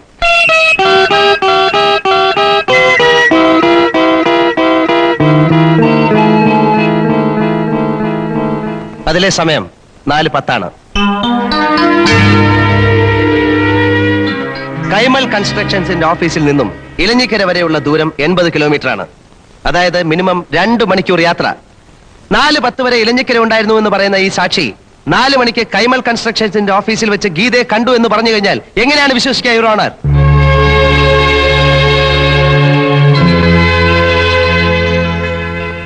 ഇനി കൂട് വിട്ട് കൂടുമാറുന്ന വിദ്യ വല്ലോ മാന്യസാക്ഷി പഠിച്ചു വെച്ചിട്ടുണ്ടോ? യുവർ ഓണർ ഇനി പല സാക്ഷികളെയും എനിക്ക് വിസ്തരിക്കാനുണ്ട്. അതിനു മുമ്പായി ഒരു രേഖ ബഹുമാനപ്പെട്ട കോടതിയുടെ മുമ്പിൽ ഹാജരാക്കുകയാണ്. ഇത്തരം രേഖകൾ തെളിവായി സ്വീകരിക്കാമോ എന്നതിനെക്കുറിച്ച് വിവാദങ്ങൾ നടക്കുകയാണ്. പക്ഷെ ഇതിനെ ഞാനൊരു പ്രൈമറി എവിഡൻസ് എന്ന നിലയ്ക്കല്ല ഒരു സപ്ലിമെന്ററി എവിഡൻസ് എന്ന നിലയിൽ ഈ കാസറ്റ് ടേപ്പ് ഹാജരാക്കുകയാണ്.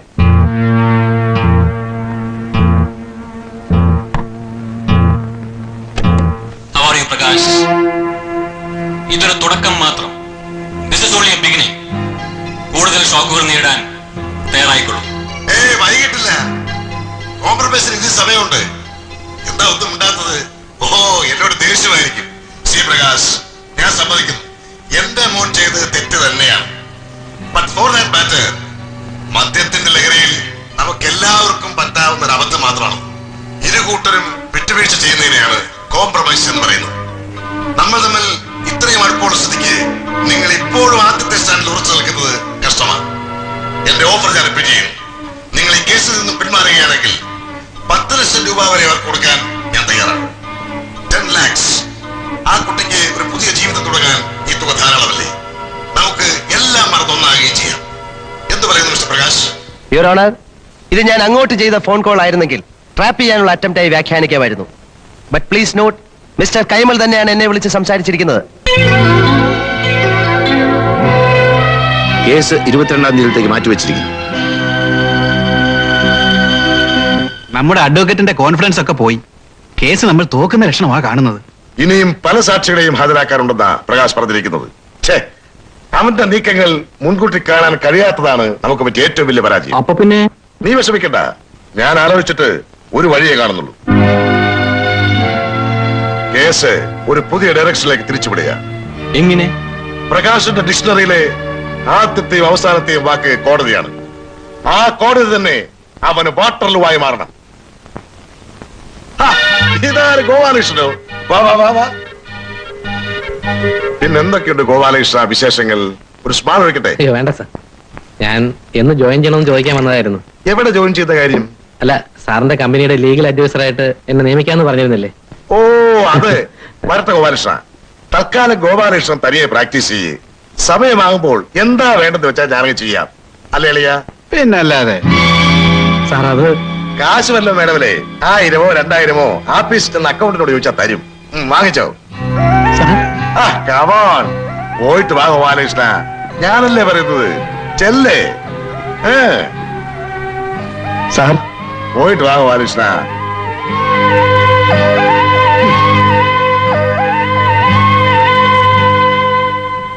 സത്യം പറഞ്ഞാൽ സാറിനെ ഫേസ് ചെയ്യാൻ എനിക്കിപ്പോ ബുദ്ധിമുട്ടുണ്ട്. സാറെന്ന് പറഞ്ഞതെല്ലാം ഇപ്പോഴെങ്കിലും പ്രകാശിന് കാര്യങ്ങളെല്ലാം മനസ്സിലായല്ലോ. എന്റെ കാര്യങ്ങളെല്ലാം സാറിന് അറിയാമല്ലോ ചെയ്യാത്ത തെറ്റിന്റെ പേരിൽ വളരെയധികം ക്രൂശിക്കപ്പെട്ട ഒരാളായിരുന്നു എന്റെ അച്ഛൻ. അവസാന നിമിഷം വരെ നീതിക്ക് വേണ്ടി അദ്ദേഹം പോരാടി. അച്ഛനെ പിടിച്ചു നിൽക്കാനായില്ല. പോസ്റ്റ്മോർട്ടം കഴിഞ്ഞ് വീട്ടിൽ കൊണ്ടുവന്ന അച്ഛന്റെ ബോഡിയുടെ ചിത്രം ഇന്നും എന്റെ മനസ്സിൽ നിന്ന് മാഞ്ഞിട്ടില്ല. ആ മുഖത്തെ നിസ്സഹായത എന്റെ ജീവിതത്തിൽ ഒരു നിഴലായി കിടന്നിരുന്നു. ഈ ലോകത്ത് പണമാണ് ഏറ്റവും വലുതെന്ന ഫിലോസഫിയിലേക്കാണ് അതൊക്കെ എന്നെ കൊണ്ടെത്തിച്ചത്. പക്ഷേ ഇന്നെനിക്ക് പ്രകാശ് ഡിപ്രസ്ഡ് ആകേണ്ട കാര്യമില്ല. Take things as the come നിങ്ങൾക്ക് പശ്ചാത്തലം തോന്നി തുടങ്ങിയത് തന്നെ ഒരു നല്ല കാര്യമല്ലേ? സർ കൈമലിനെതിരെ നമുക്ക് ഒരുമിച്ച് ഇന്ന് ഫൈറ്റ് ചെയ്യാം. എനിക്ക് സാറിനെ വളരെയധികം ഹെൽപ്പ് ചെയ്യാൻ കഴിയും. പ്രകാശിന്റെ സ്പിരിറ്റ് ഞാൻ ഉൾക്കൊള്ളുന്നു. അഭിനന്ദിക്കുന്നു. ബട്ട് നേരത്തെ പറഞ്ഞതുപോലെ you are little bit late എനിക്ക് ട്രാൻസ്ഫർ ആണ്. പണിഷ്മെന്റ് ട്രാൻസ്ഫർ ആണെന്ന് ആ ഡിപ്പാർട്ട്മെന്റിലുള്ളവർ പറയുന്നത്. പക്ഷെ എന്നെ സംബന്ധിച്ചിടത്തോളം പണിഷ്മെന്റ് ട്രാൻസ്ഫർ എന്ന പ്രയോഗത്തോടെ എനിക്ക് യോജിപ്പില്ല. എവിടെ ചെന്നാലും ജോലി ചെയ്യുക. സത്യസന്ധമായി ആത്മാർത്ഥതയോടെ. അത്രേ ഉള്ളൂ. സാർ ഈ ട്രാൻസ്ഫറിന്റെ പിന്നിലും കൈമളിന്റെ കൈകളാണ്. ഐ എം ഷുവർ ആയിരിക്കാം. Leave it Prakash. At least ഒരു കാര്യത്തിൽ എനിക്ക് സന്തോഷമുണ്ട്. ഇവിടെ നിന്ന് പോകുന്നതിന് മുമ്പായി കൈമളിനെതിരെയുള്ള പോരാട്ടത്തിന് ഒരു സ്പാർക്ക് ഇട്ടിട്ടാണ് ഞാൻ പോകുന്നത്.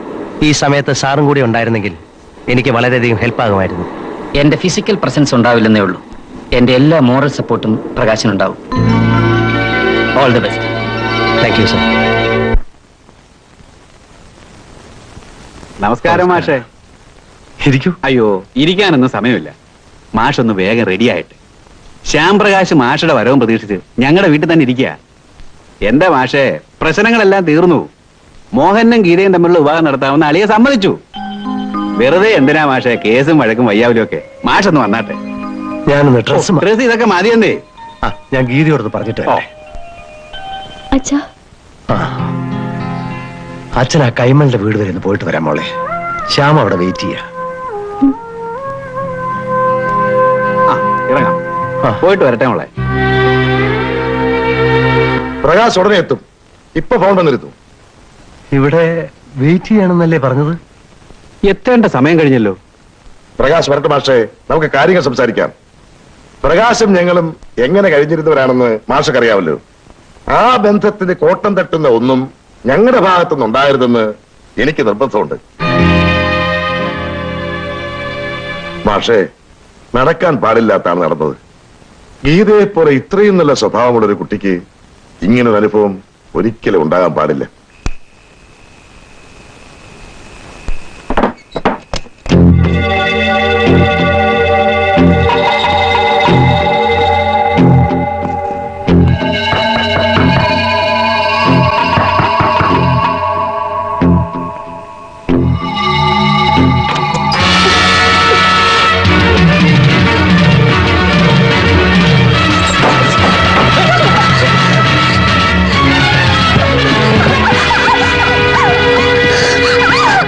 അങ്ങനെയാണെങ്കിൽ മോഹൻ ഗീതയെ തന്നെ വിവാഹം കഴിക്കട്ടെ എന്ന് ഞങ്ങൾ തീരുമാനിച്ചു.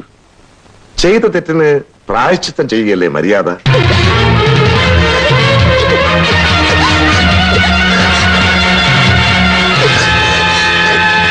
എത്രയും നല്ലൊരു മുഹൂർത്തം നോക്കി നമുക്കതങ്ങ് നടത്താം. എന്താ അളിയാ? ഇനിയുള്ളതെല്ലാം ഭാഷ തന്നെയല്ലേ നടത്തേണ്ടത്?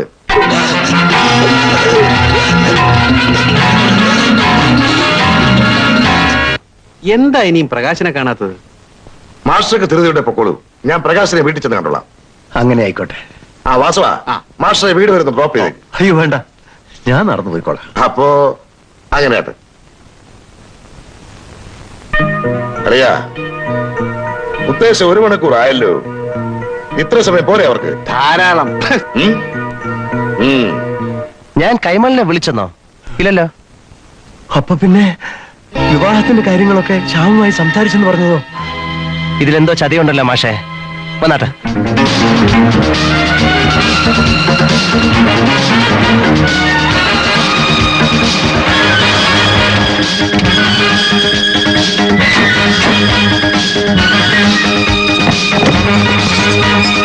തള്ളി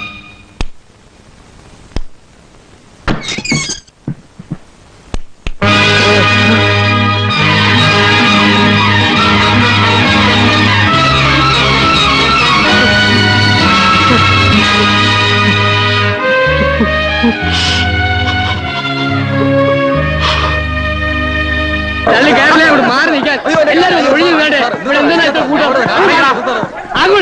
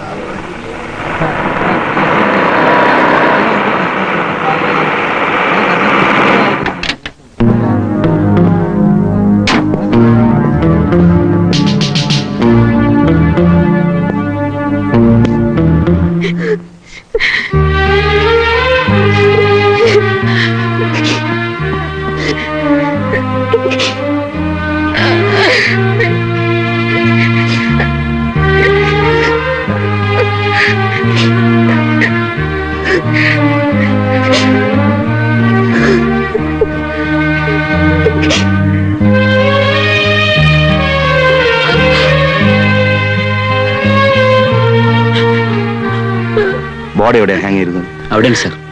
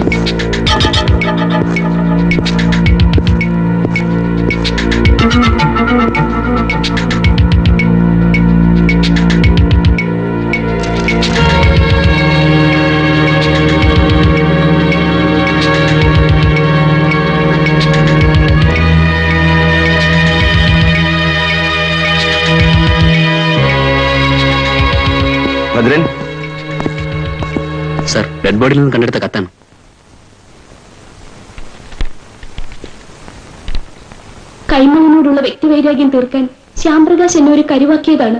ശ്യാംപ്രകാശ് പറഞ്ഞതനുസരിച്ചാണ് മോഹൻ എന്നെ നശിപ്പിച്ചു എന്ന് പറഞ്ഞ് ഒരു നാടകം കളിക്കാൻ ഞാൻ നിർബന്ധിതയായത്. മോഹൻ തികച്ചും നിരപരാധിയാണ്. അയാളെ ഇത്തരത്തിൽ ക്രൂശിക്കുന്നതിൽ മനം കൊണ്ടാണ് ഇങ്ങനെയൊരു കൃത്യം ഞാൻ ചെയ്യുന്നത്. എന്റെ മരണത്തിന് ഉത്തരവാദി ഞാൻ മാത്രമായിരിക്കും എന്ന് ഗീത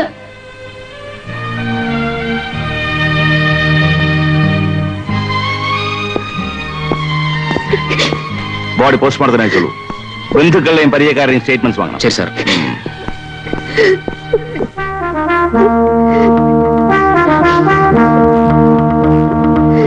സംഭവം നടക്കുമ്പോൾ മോഹൻ ബോംബെയിലായിരുന്നു എന്ന് വാദിക്കാൻ പോകണമെന്നാണ് വക്കീൽ പറഞ്ഞത്. അതിനുള്ള തെളിവുകൾ ഒപ്പിച്ചോളാമെന്ന് അയാൾ ഏറ്റിട്ടുണ്ട്. സമ്മതിച്ചു. പക്ഷേ നമ്മൾ ഈ വാദിക്കാൻ പോകുന്ന പോയിന്റുകളെല്ലാം ഫോർസീ ചെയ്യാൻ കഴിവുള്ളവനാ പ്രകാശ്. അതുകൊണ്ട് നമ്മൾ വളരെ സൂക്ഷിച്ച് കൈകാര്യം ചെയ്യണം അല്ലേ? മിസ്റ്റർ പ്രകാശ് കാണിച്ച സന്മനസ്സിന് നന്ദി പറയാനാ വന്നത്. പ്രകാശ് സത്യമായിട്ടും ഞങ്ങൾ എല്ലാം മറന്ന് ഒരു ഒത്തുതീർപ്പിന് തയ്യാറായിരുന്നതാ. ഇങ്ങനെയെല്ലാം വരും. മിണ്ടിപ്പോകരുത്. ഇതാണോ നിങ്ങൾ പറഞ്ഞ ഷോക്കുകൾ? കണക്കുകൾ തീർക്കാൻ എനിക്കും അവകാശമുണ്ട്. മറക്കണ്ട. പേടിക്കണ്ട.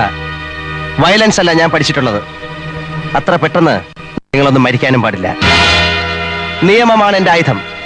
ഇത്രയും നാൾ നിങ്ങളെ രക്ഷിച്ചുകൊണ്ടിരുന്ന അതേ നിയമം കൊണ്ട് തന്നെ ഞാൻ നിങ്ങളെ ശിക്ഷിപ്പിക്കും. നമ്മുടെ ബാറ്റിൽ ഇപ്പോഴാണ് തുടങ്ങാൻ പോകുന്നത്. ഈ നിയമയുദ്ധത്തിൽ പരമാവധി ശിക്ഷ നിങ്ങൾക്ക് ഞാൻ വാങ്ങിത്തരും. അതുവരെ എനിക്ക് വിശ്രമമില്ല. ഇതെന്റെ പ്രതിജ്ഞയാണ്. ഇറ്റ്സ് മൈ പ്ലഡ്ജ് പിന്നെ ബോംബെയിൽ നിന്നും ഡൽഹിയിൽ നിന്നും അഡ്വക്കേറ്റ്സിനെ വരുത്തി എന്നെ ഭയപ്പെടുത്താൻ നോക്കണ്ട. നിയമത്തിന്റെ കളി വളരെയധികം കളിച്ചിട്ടുള്ളവനാണ് ഞാൻ. I know how to fight and win this case this is my chance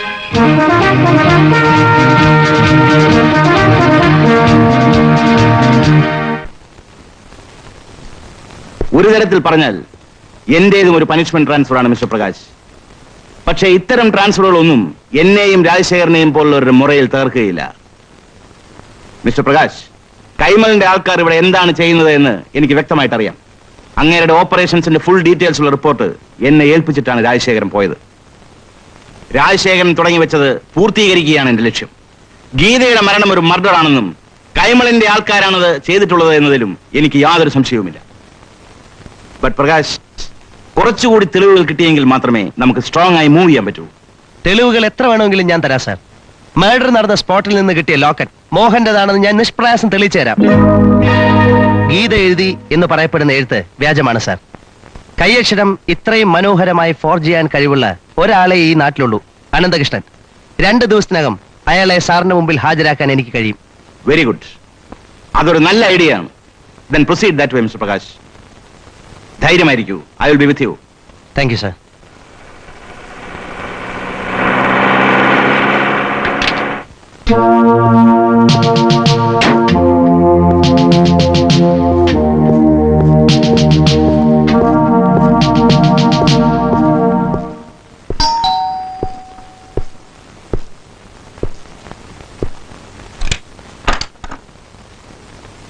I am Nambiar superintendent of police എന്താ? ഗീതയെ കൊന്ന കുറ്റത്തിന് നിങ്ങളെയും മകനെയും അറസ്റ്റ് ചെയ്യാനാണ് ഞാൻ വന്നത്. സർ യെസ് വണ്ടിയിൽ കയറ് വണ്ടിയിൽ? കയറാൻ എന്റെ അറസ്റ്റ് ചെയ്യാനായിരിക്കും. ഇത്രയും പാടുപെട്ട് നിനക്ക് ഇങ്ങോട്ട് ചുമ്മാ ഒരു തമാശ പറഞ്ഞു നോക്കിയതല്ലയോ ചേട്ടാ? ആ അപ്പോ എവിടം വരെ കാര്യങ്ങൾ? എല്ലാം മംഗളമായി വരുന്നുണ്ട്. നമ്മൾ ആ ഡോക്ടർക്ക് കൊടുത്ത കാശിന് പ്രയോജനമുണ്ടായി. നൂറ് ശതമാനവും ആത്മഹത്യയാണെന്നാണ് പോസ്റ്റ്മോർട്ടം റിപ്പോർട്ട്. വെരി ഗുഡ് ആ പിന്നെ ആ ലോക്കറ്റിന്റെ കാര്യം? ഇപ്പോ തെളിവായി കസ്റ്റഡിയിൽ ഇരിക്കുന്നത് ഡ്യൂപ്ലിക്കേറ്റ് ലോക്കറ്റ് ഇതാ മോഹന്റെ ലോക്കറ്റ്. തൽക്കാലം ഇത് എന്റെ കയ്യിൽ തന്നെ ഇരിക്കട്ടെ. ഓരോ അഡ്ജസ്റ്റ്മെന്റിനും തന്നെ ഞാൻ പ്രത്യേക പ്രത്യേകം കാണുന്നുണ്ട്. കണ്ടിരിക്കണം.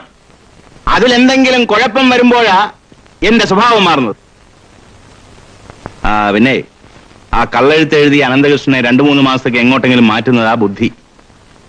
എന്റെ ഊഹം ശരിയാണെങ്കിൽ അവനെ തപ്പി ഇറങ്ങിയിരിക്കുക പ്രകാശ്. അത് ഞാൻ നോക്കിക്കോളാം. വേറെ? വേറെ അപ്പോഴപ്പോഴായി അക്കൗണ്ട് സെറ്റിൽ ചെയ്യുന്നതാ എനിക്കിഷ്ടം. ഓ തന്റെ ഒരു കാര്യം.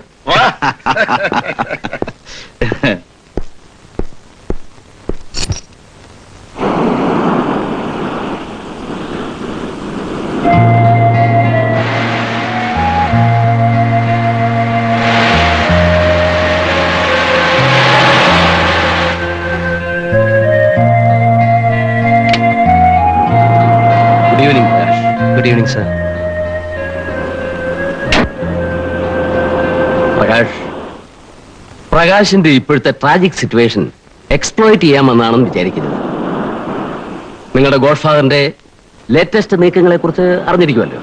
ആ എസ് പി നമ്പ്യാർ അവരുടെ ഏജന്റ് ആയിരിക്കുമെന്ന് സ്വപ്നത്തിൽ പോലും ഞാൻ നമ്പ്യാരേക്കാൾ കൂടിയ പല പോലീസ് ഓഫീസേഴ്സും ഇന്ന് കൈമയുടെ പോക്കറ്റിലുണ്ട് ഞാൻ മിസ്റ്റർ പ്രകാശിന്റെ കഴിവ് കുറച്ച് കാണുകയല്ല?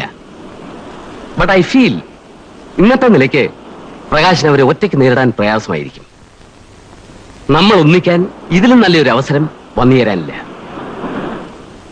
ഇപ്പൊ നമ്മുടെ രണ്ടുപേരുടെയും കോമൺ എനിമിയാണ് കൈമൾ അയാളുടെ തകർച്ച കണ്ട് ഏറ്റവും കൂടുതൽ സന്തോഷിക്കുന്ന ആൾ ഞാനായിരിക്കും. നമ്മൾ യുണൈറ്റ് ചെയ്താൽ we can see that Kaimal is reduced to a big zero ഒരു രക്തച്ചരിച്ചില്ല റിവഞ്ച് എടുക്കുന്നതിലാണ് നമ്മുടെ കഴിവിരിക്കുന്നത്. സാർ ഉദ്ദേശിക്കുന്നത്? വരും.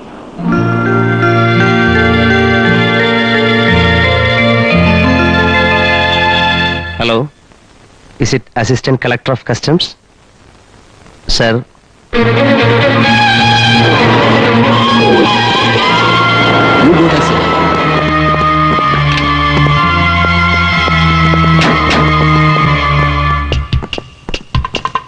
hello mister നിങ്ങളൊന്ന് പുറത്തു നിൽക്കണം. ഞാൻ കൂടെ ഒന്ന് പരിശോധിക്കണം.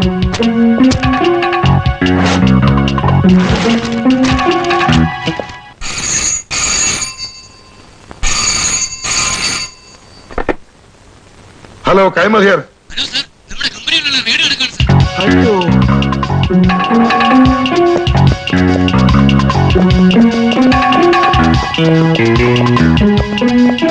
ആ ഫയൽസ് എല്ലാം ഒന്ന് കാണണം. നിങ്ങളാരാ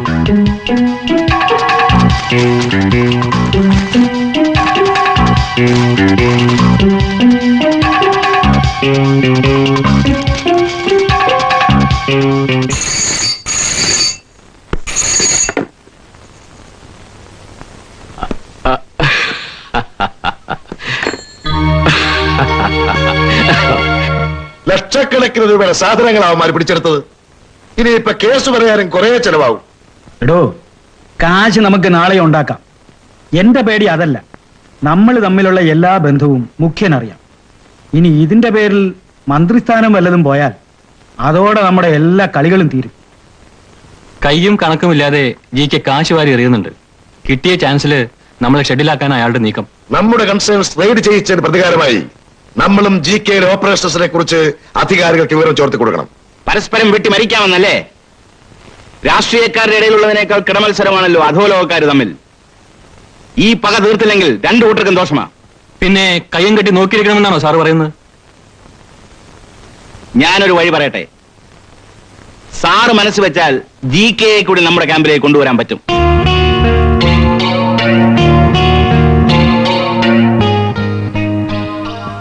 നമ്പ്യാർ പറഞ്ഞതിലും കാര്യമില്ലാതില്ല. ദൈവമേ എന്റെ ശനിവശ തീർന്നു. ഇപ്പോഴെങ്കിലും തെറ്റിദ്ധാരണകൾ മാറിയല്ലോ. സോ ഇവിടെ വെച്ച് നിങ്ങൾ തമ്മിലുള്ള എല്ലാ പ്രശ്നങ്ങളും അവസാനിച്ചിരിക്കുന്നു. ഓക്കെ? ഓക്കെ. അപ്പോ നമുക്ക് അകത്തേക്ക് ഇരിക്കാം.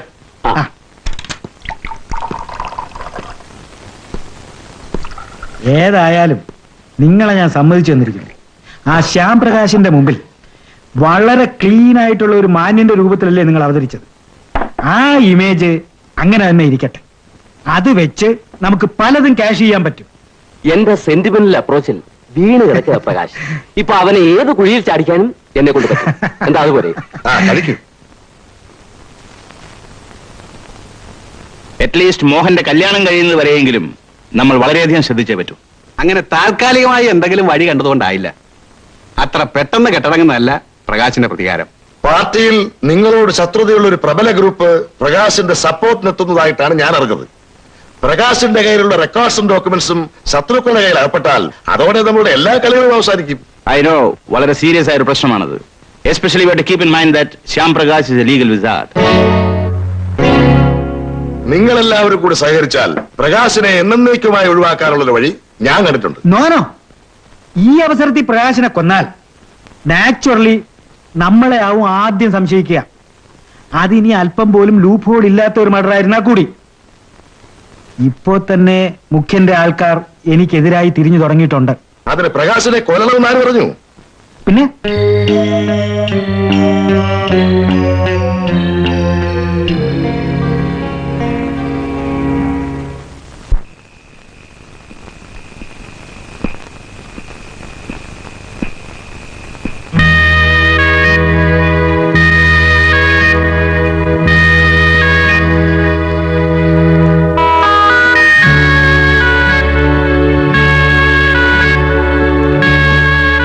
സാറ്. അവൻ മേലെയുണ്ട്.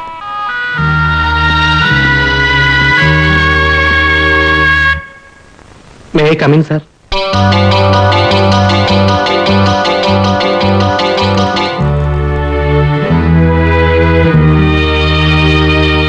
yes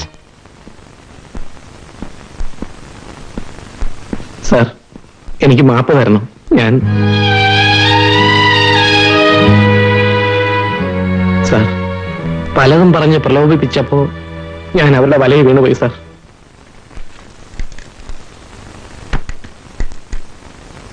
ഗോപാലകൃഷ്ണൻ ഇരിക്കെ. സാർ ചെയ്ത തെറ്റിന് പരിഹാരം ചെയ്യാനും എനിക്ക് സാധിക്കും സാർ. ഗീതയുടെ കൊലപാതകത്തെക്കുറിച്ചും ജി കെയുടെ കള്ളക്കളികളെ കുറിച്ചൊക്കെയുള്ള വിവരങ്ങൾ ഞാൻ തരാം. തെളിവ് സഹിതം.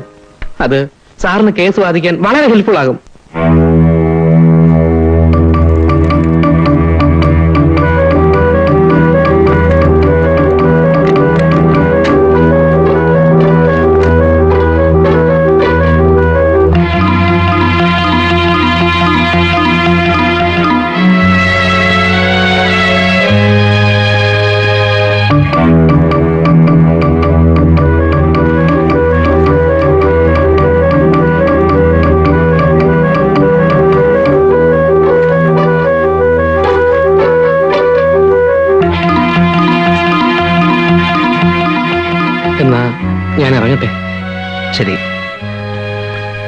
ഐ എം സോറി ഏ ഇറ്റ്സ്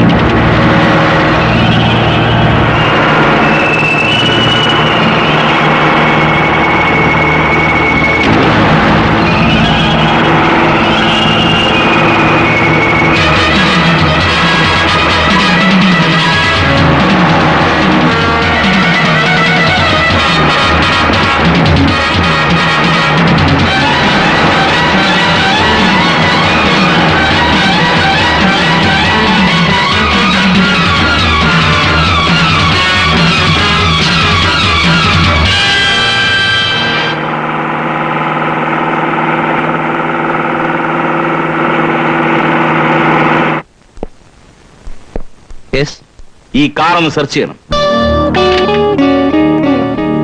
എന്താ കാര്യം? നിങ്ങളുടെ ജൂനിയർ ആയിരുന്ന മിസ്റ്റർ ഗോപാലകൃഷ്ണനെ ഇന്നലെ രാത്രി നിങ്ങൾ തട്ടിക്കൊണ്ടുപോയതായി അയാളുടെ അമ്മ പോലീസിൽ കംപ്ലൈന്റ് ചെയ്തു തട്ടിക്കൊണ്ടുപോയെന്നോ? What you mean I mean what I say ഇതാ വാറന്റ്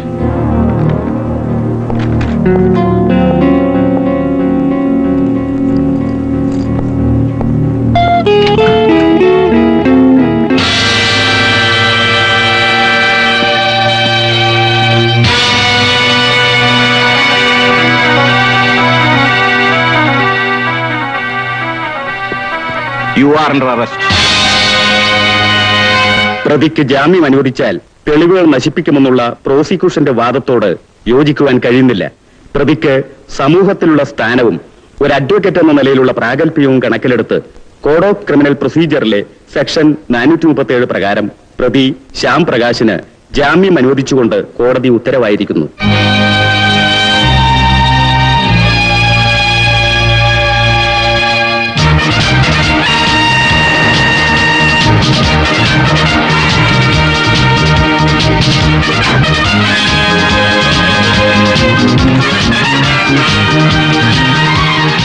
പ്രകാശ്. അതെ ഞാൻ തന്നെ. പുതിയ തന്ത്രങ്ങൾക്ക് രൂപം കൊടുക്കുകയാണല്ലേ?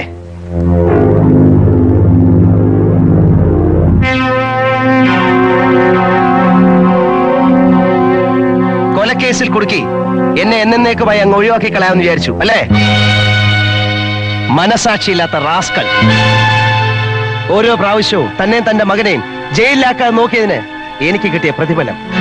പ്രകാശ്. നിങ്ങൾ ശബ്ദിച്ചു പോകരുത്. ചതിയുടെയും വഞ്ചനയുടെയും അടിത്തറയിലാണ് താൻ തന്റെ അധോലോക സാമ്രാജ്യം പടുത്തുയർത്തിയിരിക്കുന്നതെന്ന് എനിക്ക് ഇപ്പോഴാണ് മനസ്സിലായത്. ഓരോരോ തിരിമറിക്കും അപ്പപ്പ കാശ് വാങ്ങിച്ച് സർക്കാരിനെ സേവിക്കുന്ന മാന്യൻ. അധികാര കസേര ഉറപ്പിച്ചു നിർത്താനായിരിക്കും ഈ തെണ്ടികളുടെയൊക്കെ പാവസേവ സാർ നടത്തുന്നത്. മകൾക്ക് എത്രയും പെട്ടെന്ന് വേറെ ചെറുക്കനെ അന്വേഷിച്ചോണം. ഇവനുമായിട്ടുള്ള വിവാഹം ഞാൻ ജീവിച്ചിരിക്കുമ്പോൾ നടക്കില്ല.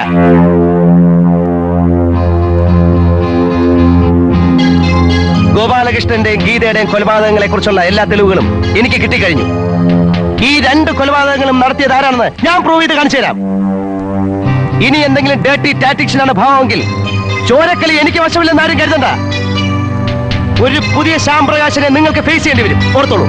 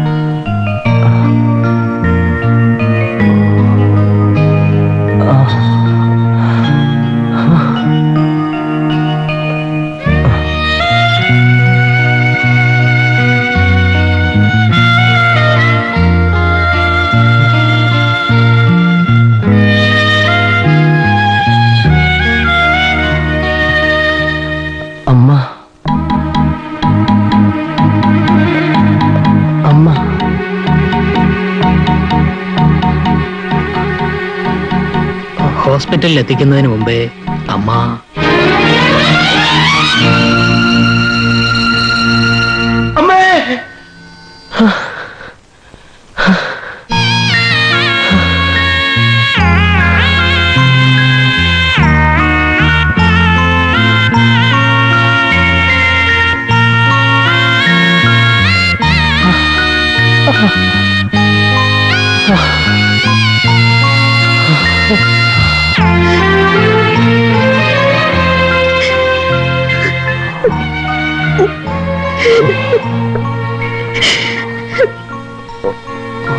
പേഷ്യന്റ് റെസ്റ്റ് എടുക്കട്ടെ. If you don't mind sister take yes doctor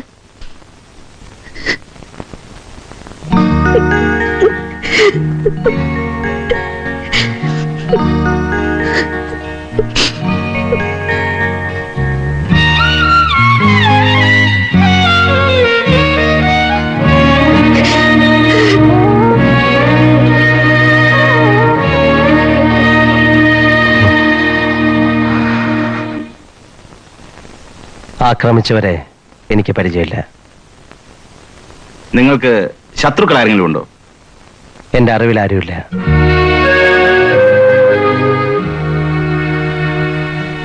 You need any police protection no thanks okay thank you mister Prakash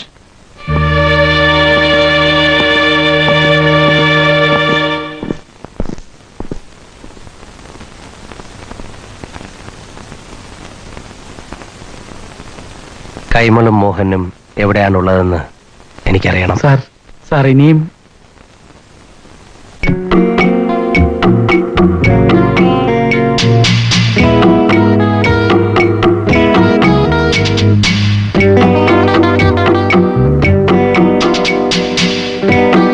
പോലീസിന് അങ്ങനെ ഒരു മൊഴി കൊടുത്തതിന്റെ പിന്നിൽ പ്രകാശിന് വ്യക്തമായ എന്തെങ്കിലും ഉദ്ദേശങ്ങൾ ഉണ്ടാവും ഏതായാലും തൽക്കാലം നമുക്ക് പേടിക്കാനൊന്നുമില്ല. അവൻ എഴുന്നേറ്റ് നടക്കാൻ കുറച്ചു ദിവസം പിടിക്കുമെന്നാ ഡോക്ടേഴ്സ് പറയുന്നു.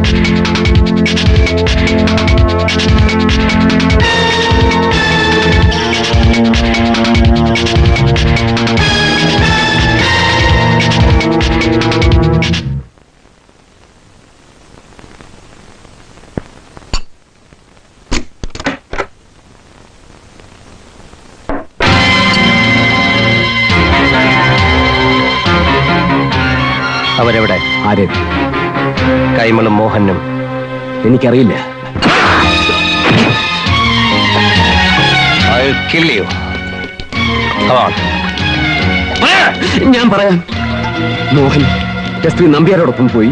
കൈമള കൈമൾ നേരെ ക്ലബിലേക്കും പോയി.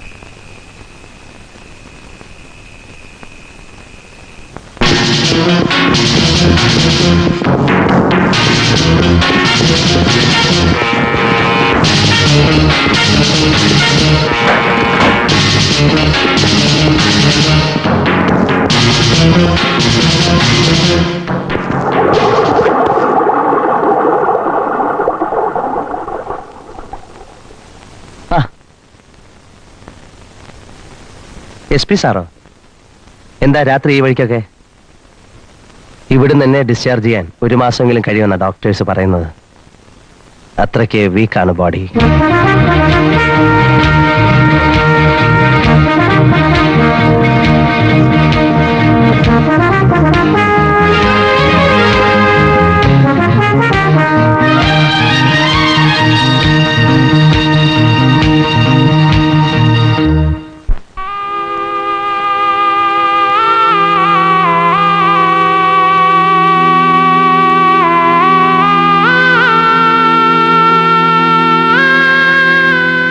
വലിയ അധോലോക നായകൻ ജി കെ. ഇത്ര വലിയൊരു പേടിത്തൊണ്ടനെ ഞാൻ ഇതുവരെ കണ്ടിട്ടേയില്ല. രാഖി രാമാനമല്ലേ ബോംബെക്ക് സ്ഥലം വിട്ടത്? എന്തിനാ സാർ ജി കെ കുറ്റപ്പെടുത്തുന്നത്? എല്ലാവർക്കും ജീവന് പേടി കാണൂലേ ഈ സമയം ആ മന്ത്രി നമ്മളെ കൈയൊഴിഞ്ഞല്ലോ. അവസാനത്തെ റൗണ്ടായി കഴിഞ്ഞു. രണ്ടുപേരിൽ ഒരാൾ മാത്രമേ ജീവിച്ചിരിക്കാൻ പാടുള്ളൂ. ഒന്നുകിൽ പ്രകാശ് അല്ലെങ്കിൽ ഞാൻ.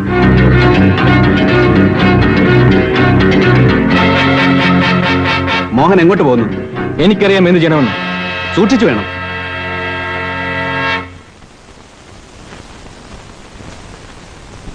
Mm-hmm.